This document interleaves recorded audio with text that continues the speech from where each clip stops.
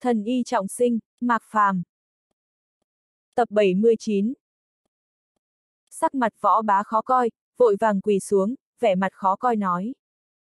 Đại tiểu thư thứ tội, không biết hai tên tiểu tử này dùng độc gì ám toán bọn ta, khiến bọn ta không có một chút sức lực, nếu không bọn ta tuyệt đối khiến tiểu tử này không tìm thấy bác. Thân là môn phái chiến tu, bị người của môn phái y tiên thương tổn như vậy, quả thật khó có thể mở miệng. Độc, ám toán. Mạc Phàm lắc đầu cười, không vạch trần. Vì sao tên này lại ra tay với các ngươi? Nữ tử không thèm nhìn Mạc Phàm, nhíu mày hỏi. Tiểu tử này nói nô bộc của đại tiểu thư là người của cậu ta, không được bọn ta cho phép đã đi lên cướp đoạt, bọn ta muốn đợi đại tiểu thư trở lại, để cậu ta xin lỗi người, ai biết tiểu tử này không nghe khuyên bảo của bọn ta, còn hạ độc với bọn ta nữa, sau đó thương tổn bọn ta thành ra như vậy, tiểu tử này còn nói, cho dù đại tiểu thư là ai, đều gọi đại tiểu thư ra, nếu đại tiểu thư dám ngăn cản, bọn họ sẽ mang cả đại tiểu thư đi. Võ bá chớp mắt nói. Lúc này, nếu không hắt hết nước bẩn lên người mạc phàm, lát nữa bị trừng phạt là bọn họ. Là như vậy sao? Nữ tử kia lạnh lùng nhìn Mỹ nữ diêm rúa, hỏi. Chuyện này, Mỹ nữ diêm rúa chớp mắt, trên mặt lộ ra chút do dự. Rất rõ ràng, những lời võ bá nói không phù hợp, nhất là đoạn sau. Nhưng cô ta nên trả lời thế nào đây? Một bên là đệ tử của thần Nông Tông, một bên là đại tiểu thư của chân võ tiên cung, hai bên đều không thể chọc vào.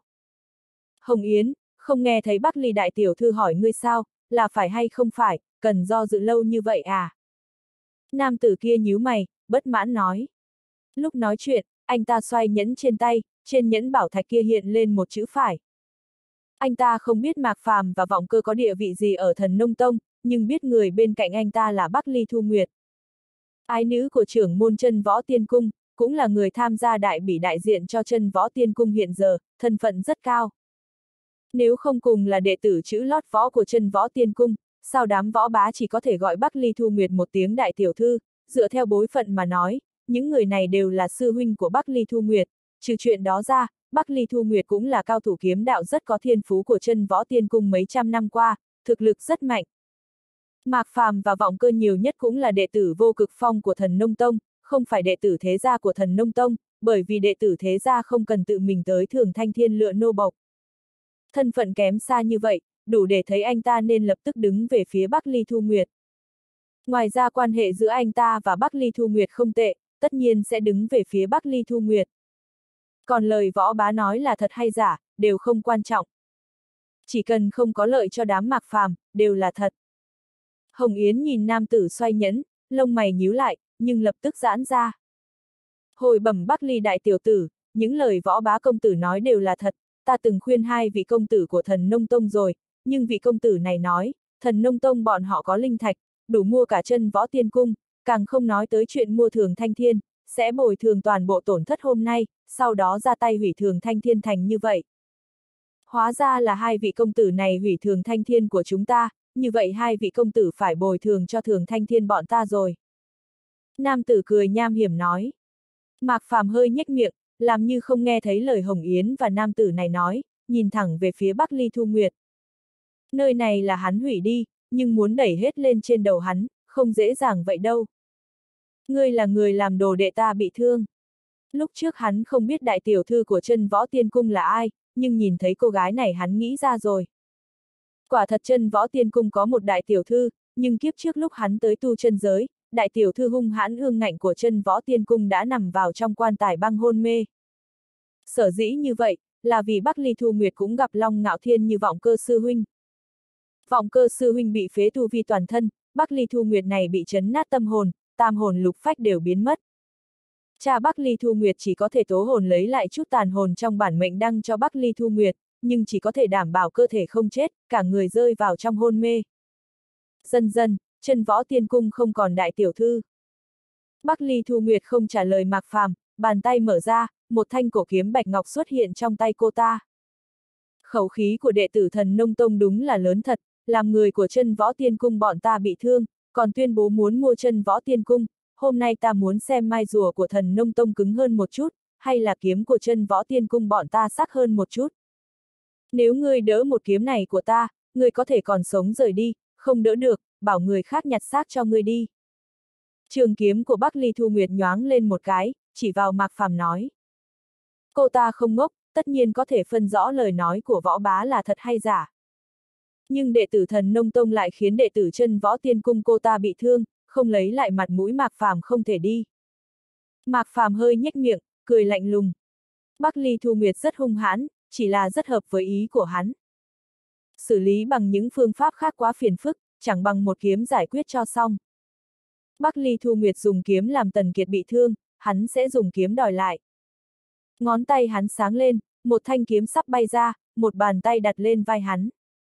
Mạc sư đệ, hiện giờ thực lực của đệ trên ta, chuyện đối phó Bắc Ly đại tiểu thư, để ta làm cho, hình như trên người đồ đệ của đệ bị thường thanh thiên hạ chú gì đó, y thuật của đệ cao hơn ta rất nhiều, đệ đi chiếu cố đồ đệ của mình đi. Vọng cơ cười khẽ nói.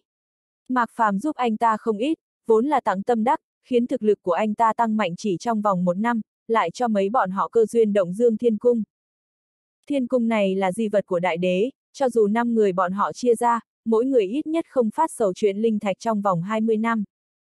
Mạc Phàm giúp anh ta nhiều như vậy, anh ta cũng ra tay giúp Mạc Phàm thôi. Đúng lúc Bắc Ly Thu Nguyệt dùng kiếm, anh ta cũng vậy. Mạc Phàm do dự một lát, mới gật đầu. Vậy làm phiền vọng cơ sư huynh rồi.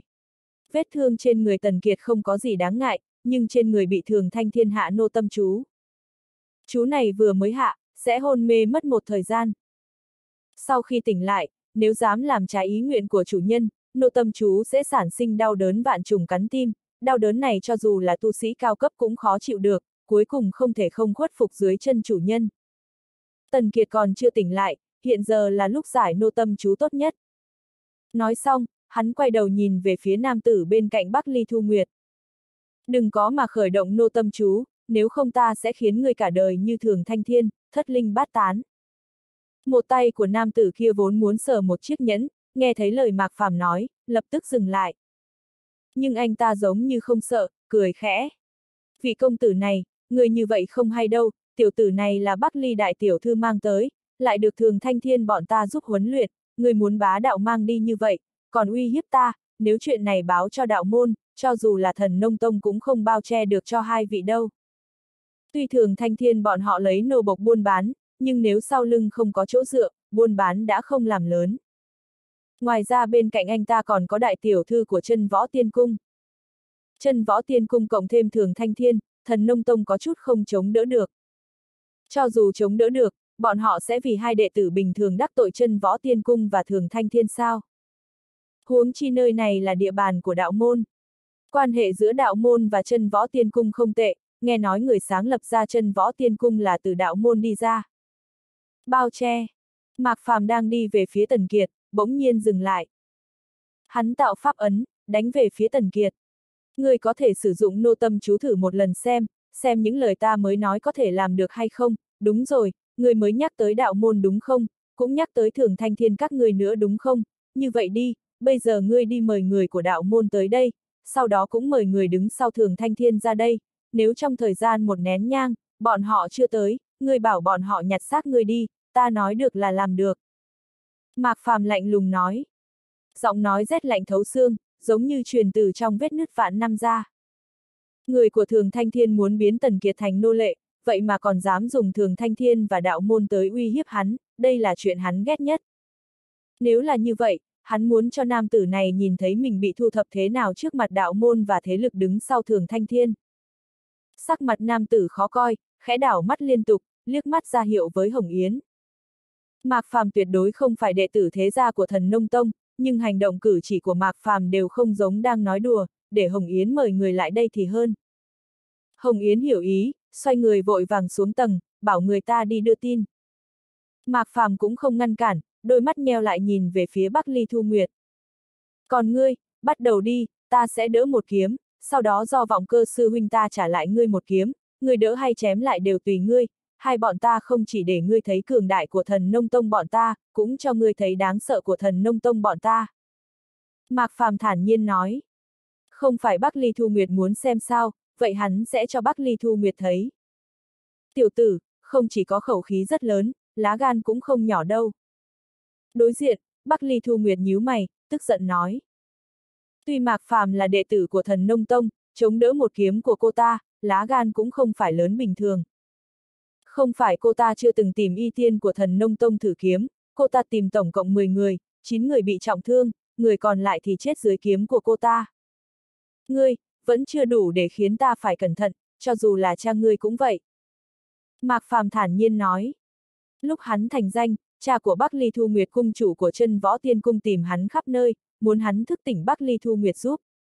Lúc ấy quả thật hắn có đến chân võ tiên cung, cha của Bắc Ly Thu Nguyệt tự mình ra cửa nghênh đón hắn. Lúc ấy trải qua trăm năm tiêu hao, chút tàn hồn của Bắc Ly Thu Nguyệt như lửa trong đen, có thể bị thổi tắt bất cứ lúc nào. Cuối cùng hắn cho cha Bắc Ly Thu Nguyệt một biện pháp, không chỉ khiến tàn hồn chậm rãi cường tráng hơn, liên tục như vậy trăm năm, Bắc Ly Thu Nguyệt sẽ bình yên tỉnh lại, chẳng qua trí nhớ sẽ dừng lại ở lúc dùng mệnh đăng. Hắn không nhìn thấy Bắc Ly Thu Nguyệt tỉnh lại, nhưng chỉ cần cha Bắc Ly Thu Nguyệt làm theo lời hắn nói, tuyệt đối không thành vấn đề. Chỉ là một biện pháp, đã khiến cha mẹ Bắc Ly Thu Nguyệt cùng quỳ xuống, một Bắc Ly Thu Nguyệt có thể làm gì được hắn. Tiểu tử, người muốn chết à? Bắc Ly Thu Nguyệt nhíu mày, trong mắt lóe lên sắc bén. Cổ kiếm bạch ngọc trong tay cô ta lóe lên quang hoa, bay thẳng ra đâm về phía mi tâm mạc phàm. Kiếm của cô ta vừa ra, giống như một vòng trăng tròn bùng nổ ra, bạch quang trói mắt lập tức bao phủ xung quanh. Kiếm thế rộng lớn như trường hoàng quán nhật, kiếm ý cường đại lập tức khiến mọi người trong 10 dặm quanh đây đều cảm nhận được. Thậm chí tất cả binh khí hình kiếm trong phạm vi này đều run rẩy lên. Trong chớp mắt, không ít người nhìn về phía thường thanh thiên. Đang có người tranh đấu sao, kiếm ý thật cường đại. Đây là đệ tử tông môn nào thế? Đại bỉ sắp bắt đầu, có một số đệ tử không chịu nổi ra tay là chuyện rất bình thường. Mấy ngày nay, đã có không ít người ra tay rồi. Đây là chân võ pháp kiếm Nguyệt Luân của chân võ tiên cung đúng không? Có người cảm nhận được kiếm ý nói. Chân võ tiên cung có ba kiếm thuật, đó là Nhật Dương, Nguyệt Luân và Tinh Huy. Nhật Dương là mỗi đệ tử đều phải tu luyện, Nguyệt Luân chỉ có một đệ tử lâu năm hoặc thiên phú cao mới được tu luyện, trên cơ bản cho dù là đệ tử thiên phú cao cũng phải trên trăm năm mới đến cảnh giới Nguyệt Luân. Chân võ pháp kiếm Nguyệt Luân, không phải là đại tiểu thư Bắc Ly Thu Nguyệt của chân võ tiên cung đấy chứ. Có người khẽ nâng mí mắt, nói. Bảy ngày trước Bắc Ly Thu Nguyệt đã tới xạ Nhật Sơn, ra tay lần lượt ba lần, không một ai đỡ được một chiêu của cô ta, toàn bộ bị cô ta đánh bại bằng một chiêu. Không biết người nào chọc phải Bắc Ly Thu Nguyệt, lần này thảm rồi. Một người khác nói. Ba người khiến Bắc Ly Thu Nguyệt ra tay, đều là đệ tử tham gia đại bỉ. Kết quả còn chưa bắt đầu đại bỉ, chỉ có thể bị loại trước do trọng thương. Hiện giờ Bắc Ly Thu Nguyệt lại ra tay, chắc chắn cũng có kết quả như thế. Lúc những người này bàn tán, Mạc Phàm hơi nhếch miệng. Chân võ pháp kiếm, quả thật người sáng tạo ra bộ công pháp này rất lợi hại. Kiếm pháp này không chỉ dung hợp kiếm đạo, còn dung hợp pháp đạo. Hai thứ này phối với nhau, có thể phát huy ra uy lực của cả hai. Nhất là Nguyệt Luân và Tinh Huy, lại càng tạo ra hai lực lượng lớn hơn. Nhưng có một số người cả đời đều dừng lại ở Nhật Dương, không thể chạm tới Nguyệt Luân. Bắc Ly Thu Nguyệt nhỏ tuổi như vậy có thể tham ngộ được Nhật Dương, bắt đầu tu luyện Nguyệt Luân, quả thật đủ kiêu ngạo. Nếu vận khí tốt, thậm chí Bắc Ly Thu Nguyệt có thể giống người sáng lập ra chân võ tiên cung tham ngộ đến tinh huy. Nhưng mà, một tay của Mạc Phàm không có một chút linh khí dao động, vươn về phía một kiếm kia. Nguyệt Luân chưa từng có từ trước đến nay đến trước tay hắn, giống như nước lũ gặp sắt thép. Keng keng, từng đạo gợn sóng xuất hiện trước tay hắn, dập dờn ra xung quanh. Thường thanh thiên vốn đã tổn hại nghiêm trọng, dưới gợn sóng này bị cắt thành hai từ giữa. Gợn sóng tiếp tục lên trước, đến chỗ nào, toàn bộ một phân hai. Nhưng nguyệt hoa màu trắng này không thể đi về trước nửa bước, cũng không thể thương tổn được mạc phàm chút nào. Audio điện tử võ tấn bền. Ở đây, không chỉ đám võ bá sừng sốt, nam tử của thường thanh thiên cũng ngây ngẩn cả người. Bắc Ly Thu Nguyệt là người đứng đầu đại bỉ lần này, cho dù không lấy được thứ nhất, top 10 cũng không thành vấn đề. Lúc trước có mấy tu sĩ tham gia đại bỉ thấy cô ta quốc sắc thiên hương, liền có ý khinh bạc, kết quả bị Bắc Ly Thu Nguyệt phế đi hết, trong mấy người kia có đệ tử nằm trong top 10 tông môn trong đại bỉ. Ngoài ra kiếm đạo của Bắc Ly Thu Nguyệt đã tới Nguyệt Luân. Nhưng một kiếm như vậy, lại được Mạc Phàm đỡ bằng một tay. Hơn nữa lòng bàn tay của Mạc Phàm chỉ có một chú ấn, không thấy bất luận linh khí dao động gì, dựa vào tay mà tới trình độ này, cơ thể khủng bố tới cỡ nào. Cuối cùng anh ta cũng hiểu rõ vì sao Mạc Phàm có thể thương tổn được bọn họ, gần như không cần tốn nhiều sức, bản thân Mạc Phàm đã mạnh hơn bọn họ nhiều. Thậm chí có thể nói, Nguyên Anh đỉnh phong bọn họ không cùng một tầng với Mạc Phàm. Ngay cả Bắc Ly Thu Nguyệt cũng thay đổi sắc mặt, trong đôi mắt đều là không thể tin được. Thực lực của Mạc Phàm tương đương với cô ta, đều là Nguyên Anh đỉnh phong. Tuy cô ta không nhìn ra Mạc Phàm tu đạo gì, nhưng cô ta ôm kiếm mà sinh, trời sinh đã có kiếm đạo rất mạnh, kiếm đạo này cả đại bỉ cũng hiếm tìm được người so với cô ta. Tại sao có thể như vậy? Bắc Ly Thu Nguyệt nghiến răng, phía sau trường kiếm này, chín tiểu nguyệt lượng xuất hiện trong tầm tay cô ta. Nhưng không đợi chín tiểu nguyệt lượng bùng nổ ra.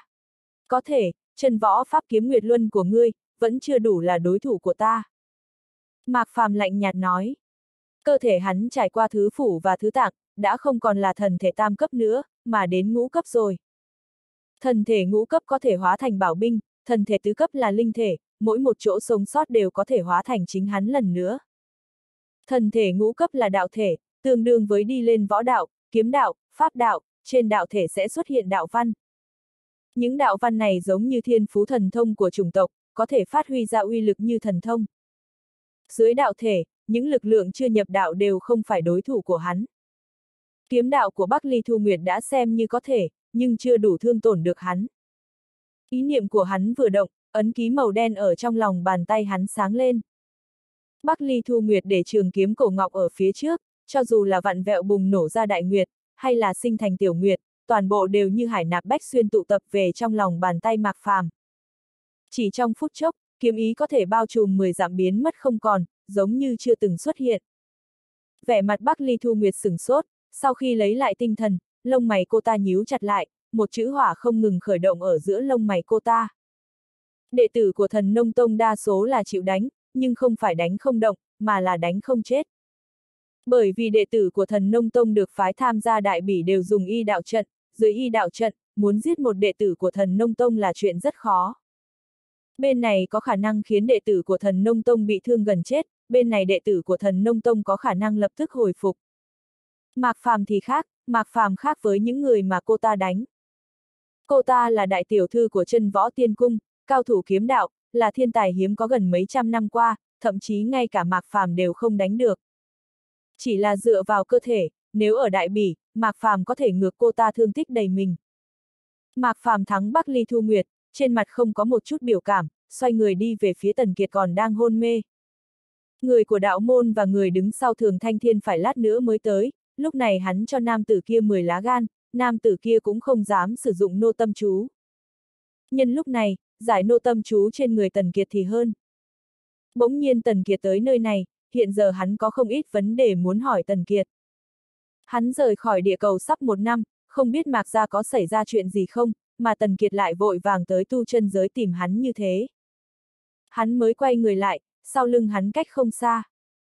Bắc Ly Thu Nguyệt thấy mình bị khinh thường, trong đôi mắt lóe lên sắc bén. Cô ta thua, còn thua rất thảm. Nhưng một y tiên của thần nông tông dám coi thường cô ta như vậy, đây là chuyện cô ta không thể chịu đựng được nhất. Tiểu tử, ta phải giết ngươi. Bắc Ly Thu Nguyệt nắm chặt cổ kiếm bạch ngọc, nghiến răng nói. Bóng dáng cô ta nhoáng lên một cái, cổ kiếm bạch ngọc trong tay giống như gặp được Nguyệt Hoa đâm về phía gáy Mạc Phàm.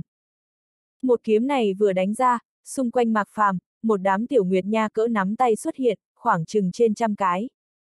Kiếm ý khiến lưng người ta phát lạnh lại xuất hiện. Nguyệt Nha lóe lên quang mang sắc bén, theo cổ kiếm bạch ngọc đâm về phía Mạc Phàm. Chỉ trong chớp mắt đã tới gáy Mạc Phàm, chỉ cách chưa tới hai ngón tay. Thấy một màn như vậy, võ bá và nam tử của thường thanh niên kia hơi nhếch miệng, khẽ thở phào nhẹ nhõm. Mạc Phàm thân là đệ tử của thần nông tông, đã có thực lực cỡ này, đúng là đáng sợ. Bọn họ đắc tội người như vậy, chắc chắn sau này không dễ chịu. Nhất là nam tử thường thanh thiên, việc buôn bán của thường thanh thiên bọn họ, cũng hợp tác không ít với thần nông tông. Nếu không phải có Bắc Ly Thu Nguyệt ở đây, anh ta chắc chắn sẽ không đắc tội đệ tử của thần nông tông. Hiện giờ anh ta đã đắc tội Mạc Phàm, vậy Mạc Phàm nên chết đi thì hơn. Một kiếm này sắp đâm vào gáy Mạc Phàm, Mạc Phàm làm như không phát hiện ra, vẫn đi về trước một bước. Hắn lên trước một bước này, đồng thời một bóng dáng chấp lóe tới phía sau Mạc Phàm, đứng tựa lưng về phía Mạc Phàm. Bóng dáng này không phải người khác, đúng là vọng cơ vẫn đứng một bên. Bắc ly cô nương, ta trả lại ngươi một kiếm thay mạc sư đệ ta, ngươi phải cẩn thận, nếu thương tổn tới ngươi, vậy thì đắc tội rồi. Vọng cơ lạnh nhạt nói. Rõ ràng là đang quyết đấu với cao thủ như Bắc Ly Thu Nguyệt, nhưng cho dù là thần sắc hay giọng điệu đều như nói chuyện phiếm. Vọng cơ không rút kiếm, chỉ vươn kiếm chỉ điểm lên cổ kiếm bạch ngọc của Bắc Ly Thu Nguyệt. Vèo, một đạo kiếm quang bay từ giữa ngón tay hắn ra. Không có dao động linh khí rất mạnh, cũng không có kiếm ý bá đạo như của Bắc Ly Thu Nguyệt. Nhưng nhất chỉ vừa ra. Ken két, kiếm hoa trên trường kiếm bạch ngọc của Bắc Ly Thu Nguyệt bị gãy từng khúc, còn lan tràn về phía tay Bắc Ly Thu Nguyệt. Không chỉ những kiếm hoa này, trên trăm cái nguyệt nha màu trắng giống nhau bay về phía mạc phàm cũng bị nghiền nát. Bạch quang dọc theo kiếm cổ, chỉ trong chớp mắt đã tới tay Bắc Ly Thu Nguyệt. Không đợi Bắc Ly Thu Nguyệt phản ứng kịp, kiếm quang màu trắng đã đánh trúng bộ ngực cô ta. Trên mặt Bắc Ly Thu Nguyệt hiện lên vẻ kỳ lạ, nhìn thoáng qua ngực mình, đầu còn chưa kịp ngẩng lên. Phập, kiếm khí nhập vào cơ thể mà ra sau lưng cô ta, tạo ra kiếm động rất sâu trên vách tường. Ngay sau đó, cơ thể Bắc Ly Thu Nguyệt lập tức lùi về sau, vẫn đụng vào vách tường cách đó không xa, lưu lại một đại động hình người trên vách tường, lúc này mới dừng lại, một ngụm máu tươi phun từ miệng Bắc Ly Thu Nguyệt ra. Bên trong thường thanh thiên, lại một trận yến tước vô thanh. Rất lâu sau, lúc này nam tử của thường thanh thiên và võ bá mới phản ứng kịp. Một mạc phàm đã đủ đáng sợ, cơ thể đỡ một kiếm của Bắc Ly Thu Nguyệt, tiện tay lấy đi kiếm khí của Bắc Ly Thu Nguyệt. Nam tử bên cạnh mạc phàm rất khiêm tốn, vậy mà cũng khủng bố như thế. Chỉ hai ngón tay, vậy mà khiến Bắc Ly Thu Nguyệt bị thương nặng đến thế. Bọn họ là đệ tử của thần nông tông thật sao? Võ bá không tin lắm nói. Nếu đệ tử của thần nông tông đều như mạc phàm và vọng cơ, sao đại bỉ tông môn lại sửa quy tắc? Nếu không phải tận mắt nhìn thấy, bọn họ tuyệt đối không tin hai người là đệ tử của thần nông tông. Cũng quá mạnh rồi. Đây mới chỉ là nhất chỉ, nếu hai bọn họ dùng toàn lực sẽ thế nào, e rằng bọn họ đã sớm bị giết một nghìn lần. Không chỉ bọn họ, Mạc Phàm cũng nhớn mày. Gần đây vọng cơ sư huynh tiến bộ không ít. Quả nhiên vọng cơ sư huynh không hổ là thiên phú số một số hai của thần nông tông, kiếp trước lúc hắn nói chuyện với vọng cơ sư huynh, vọng cơ sư huynh tự mình nói, không ai ở thần nông tông có thiên phú vượt qua anh ta. Cho dù là hắn hay vô phong sư thúc, vô địch sư thúc, đều như vậy. Kiếp trước, hắn có thể cảm nhận được thiên phú của vọng cơ sư huynh, thậm chí sư phụ hắn cũng đồng ý với câu nói rất ngông cuồng này của vọng cơ sư huynh, nhưng hắn không để ý lắm. Dù sao cơ thể của vọng cơ sư huynh đã bị phế, nói gì cũng là nói xuông. Thật không ngờ, thực lực của vọng cơ sư huynh tăng nhanh đến vậy. Một kiếm vừa rồi của vọng cơ sư huynh, cho dù là hắn, e rằng cũng sẽ bị thương. Hơn nữa cùng là nhất chỉ, hắn tuyệt đối không thể làm được như vọng cơ sư huynh. Mạc sư đệ khiêm tốn rồi, nếu không phải đệ cho ta đồ, ta đã không tới nước này, ngoài ra nếu trước mặt ta là mạc sư đệ, có lẽ ta không có năng lực dùng thực lực như vậy, cho dù dùng được cũng chưa chắc thương tổn được mạc sư đệ. Vọng cơ cười nhạt nói. Mạc phàm không tranh cãi chuyện này, vọng cơ sư huynh mạnh vượt dự kiến của hắn, hắn cũng không kém. Hắn đi tới bên cạnh Tần Kiệt, một tay đặt lên chán anh ta. Quang mang màu xanh xuất hiện trên tay hắn, lao vào trong cơ thể Tần Kiệt một cách dũng mãnh. Quang mang màu xanh này vừa nhập thể, trên người Tần Kiệt lập tức xuất hiện đường vân màu đỏ. Đường vân này lấy trái tim Tần Kiệt làm trung tâm, lan ra toàn thân của Tần Kiệt, hình thành một chữ nô trên mặt Tần Kiệt. Quang mang màu xanh theo những đường vân này bơi khắp toàn thân Tần Kiệt, rất nhanh liền bao toàn bộ đường vân màu đỏ. Đi ra cho ta. Mạc Phàm khẽ quát một tiếng, tay dùng lực kéo ra ngoài. Đường vân màu đỏ ở dưới quang mang màu xanh bao bọc, giống như bị một tấm lưới lớn kéo ra khỏi cơ thể Tần Kiệt. Tần Kiệt trao mày, cơ thể ưỡn lên theo, sau đó hạ xuống. Anh ta cố mở mắt ra vài lần, nhưng không thể mở ra được, lại ngủ say.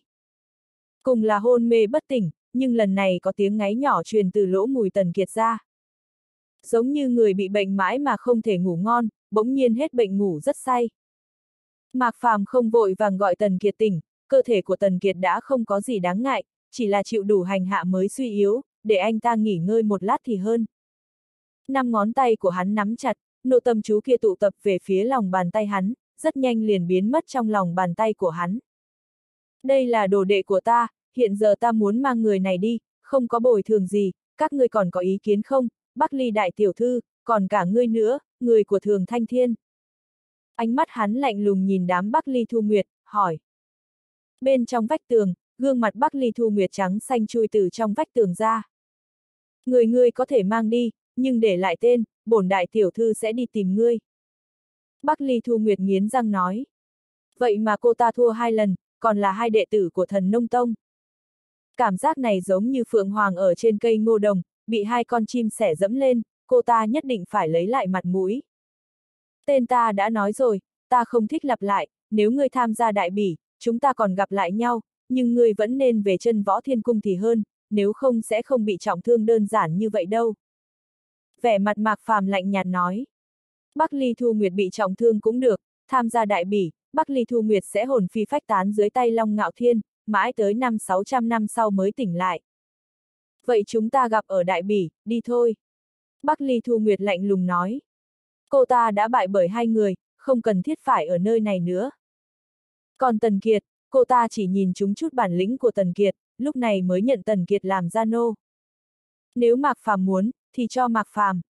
Có nhiều người muốn thành gia nô của Bắc Ly Thu Nguyệt này lắm, thêm một Tần Kiệt cũng không nhiều, ít một Tần Kiệt cũng không ít, lại tìm là được. Hoặc đợi cô ta giết Mạc Phàm, đoạt lấy Tần Kiệt là được. Đến khi đó, không cần nô tâm chú của Thường Thanh Thiên, Tần Kiệt sẽ phải quỳ gối dưới váy của cô ta. Đại bỉ, tùy ngươi đi. Mạc Phàm nói với vẻ khinh thường. Hắn không tiếp xúc với chân võ tiên cung nhiều lắm, không hề nợ ân tình của chân võ tiên cung, trái lại Bắc Ly Thu Nguyệt còn hành hạ Tần Kiệt thành ra như vậy. Hắn không giết Bắc Ly Thu Nguyệt đã xem như không tệ rồi, nhắc nhở Bắc Ly Thu Nguyệt xem như nể mặt cha mẹ cô ta, hắn đã hết lòng rồi. Nếu Bắc Ly Thu Nguyệt không nghe, hắn không có biện pháp. Sinh tử có mệnh, vọng cơ sư huynh có thể tránh thoát là được, Bắc Ly Thu Nguyệt có thể hay không, hắn không quan tâm. Bắc Ly Thu Nguyệt muốn dẫn đám võ bá rời đi, mấy khí tức xuất hiện gần Thường Thanh Thiên. Bên cạnh Bắc Ly Thu Nguyệt, nam tử của Thường Thanh Thiên cảm nhận được khí tức này thì nhớn mày, khóe miệng hiện lên tươi cười. Bắc Ly đại tiểu thư, xin dừng bước, khiến người bị thương ở Thường Thanh Thiên bọn ta, thật sự là Thường Thanh Thiên bọn ta chiếu cố không chu đáo, Bắc Ly đại tiểu thư đợi một lát, ta lập tức cho đại tiểu thư một câu trả lời hài lòng. Hả? Bắc Ly Thu Nguyệt nhớn mày, lạnh lùng liếc Mạc Phàm và vọng cơ một cái, gật đầu. Cô ta bị Mạc Phàm thương tổn thành như vậy, nếu Thường Thanh Thiên có thể cho cô ta công đạo thì quá tốt. Nam tử của Thường Thanh Thiên hơi nhếch miệng, ánh mắt đầy trêu tức nhìn Mạc Phàm. Vị công tử này, người kia có phải đồ đệ của ngươi hay không ta không biết, cũng không quan tâm, người này ấy à, một khi đến Thường Thanh Thiên bọn ta đều là nô tài, cho nên ngươi không chỉ không thể mang người này rời đi, ngươi và vị công tử bên cạnh cũng không thể đi, mãi đến khi người bồi thường phí tổn hủy thường thanh thiên của bọn ta, bồi thường phí tổn làm Bắc Ly đại tiểu thư bị thương, xin lỗi Bắc Ly đại tiểu thư, mãi đến khi Bắc Ly đại tiểu thư hài lòng, các ngươi mới có thể rời đi. Anh ta vốn không có can đảm ngăn cản Mạc Phàm, nhưng người anh ta bảo người mời tới đã đến, vậy còn lý do gì để Mạc Phàm đi dễ dàng? Vậy sao? Mạc Phàm khẽ gật đầu. Chính là như vậy. Nam tử thường thanh thiên cười nói, anh ta mới nói xong, mấy bóng dáng chấp lóe tới tầng hai chỗ bọn họ. Có tổng cộng bốn người tới, trong đó có hai người mặc y phục đạo môn, tuổi cũng không nhiều, khoảng hơn 20. Hai người khác một người là lão giả mặc huyền y, một người khác là cô gái mặc thanh y. Nhìn bốn người tới, Mạc Phàm nhớn mày, trong mắt lóe lên dị sắc nhưng không nói gì.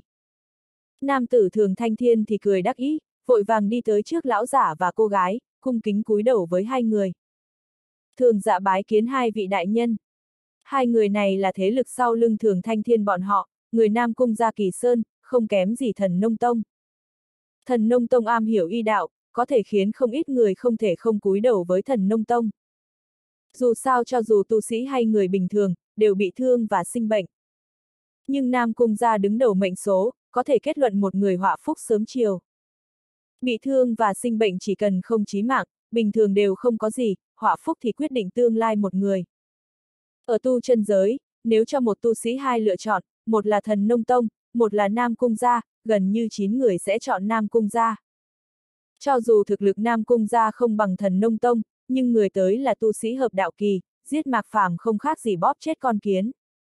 Sao lại thế này, vì sao nơi này thành ra như vậy? Lão giả liếc mắt nhìn đám mạc phàm một cái, lạnh lùng hỏi.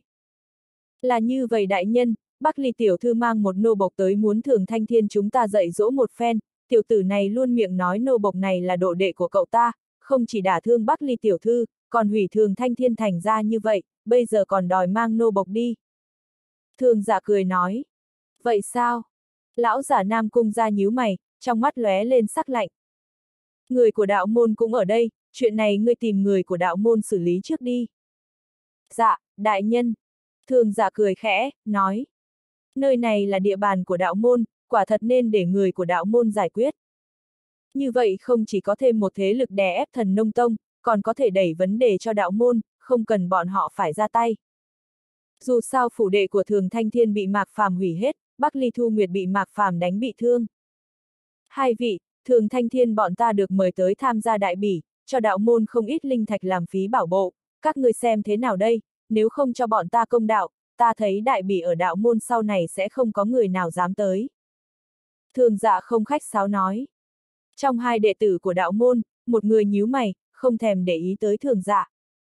Một trưởng quầy của thường thanh thiên mà thôi, ngay cả họ Nam Cung gia đều không phải, vậy mà dám nói chuyện với đệ tử đạo môn như vậy, nghĩ đệ tử đạo môn bọn họ là nô bộc của thường thanh thiên sao. Đệ tử này hơi nhếch miệng cười, lập tức đi về phía Mạc Phàm. Thiên bảo bái kiến Mạc Sư Thúc, lúc này mới hơn nửa năm không gặp, tu vi của Sư Thúc lại tăng không ít rồi. Trương Thiên Bảo cười đê tiện, nói. Mấy ngày nay anh ta luôn đợi đệ tử thần nông tông tới, lấy lại Thiên Bảo thông bàn của mình, không ngờ gặp được Mạc Phàm ở đây. Không nói tới chuyện Mạc Phàm không sai, cho dù sai, anh ta cũng không đứng về phía Thường Thanh Thiên. Nếu không nhớ đâu Mạc Phàm không trả anh ta Thiên Bảo thông bàn thì làm sao? Tu vi của ngươi cũng tăng không ít, hiệu quả của Hàn Tủy không tệ. Mạc Phàm thản nhiên nói. Lúc này mới bao lâu không gặp, Trương Thiên Bảo đã tới hóa thần trung kỳ. Đó là nhờ phúc của Mạc Sư Thúc, đồ của ta đâu, có phải Sư Thúc dùng xong rồi? Trương Thiên Bảo cười nói. Vẻ mặt Mạc Phàm lạnh nhạt, lấy một chiếc nhẫn chữ vật đã chuẩn bị trước ra, ném cho Trương Thiên Bảo. Đồ của ngươi đều ở bên trong, bên trong có hai thứ là của sư phụ và sư nương ngươi, thay ta đưa cho bọn họ, ngươi có thể không đưa, nhưng mà... Mạc Phàm nói một nửa thì dừng. Hắn xem như dựa vào thân phận của bất diễm sư tỷ mới mượn được thiên bảo thông bàn, tuy tạm thời chưa biết nhau, nhưng tất nhiên không thể trả tay không. Bên trong có hai kiện bán kiên khí, coi là tạ lễ. Trương Thiên Bảo vội vàng lấy nhẫn chữ vật, kiểm tra bên trong, trước mắt anh ta lập tức sáng lên. Bên trong nhẫn chữ vật, không chỉ có thiên bảo thông bàn của anh ta, bên trong còn có không ít linh khí, thiên tài địa bảo, cũng có bốn kiện bán tiên khí, khoảng chừng mấy chục món đồ. Hơn nữa bên trong đều được ghi chú hết, thứ nào thích hợp và không thích hợp với anh ta. Mạc sư thúc yên tâm, thiên bảo nhất định sẽ đưa đến, nhất định, thiên bảo thay sư phụ sư nương cảm ơn mạc sư thúc trước. Vậy chuyện ở thường thanh thiên.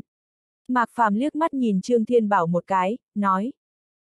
Chuyện này sao, chuyện này cứ để ta lo, sư thúc, người mang theo người của mình rời đi với vị sư thúc này trước, còn lại giao cho ta là được, ta nhất định sẽ cho sư thúc câu trả lời hài lòng. Trương Thiên Bảo cười nói. Rõ ràng là chỉnh mảng nhiệm vụ, Trương Thiên Bảo lại như ăn cơm thường ngày. Gần đây anh ta luôn phụ trách chị An ở chợ, chuyện như vậy anh ta gặp nhiều rồi, cho nên có rất nhiều kinh nghiệm. Được rồi. Mạc Phàm thản nhiên nói. Hắn ôm Tần Kiệt còn đang mê man, muốn đi về phía cầu thang.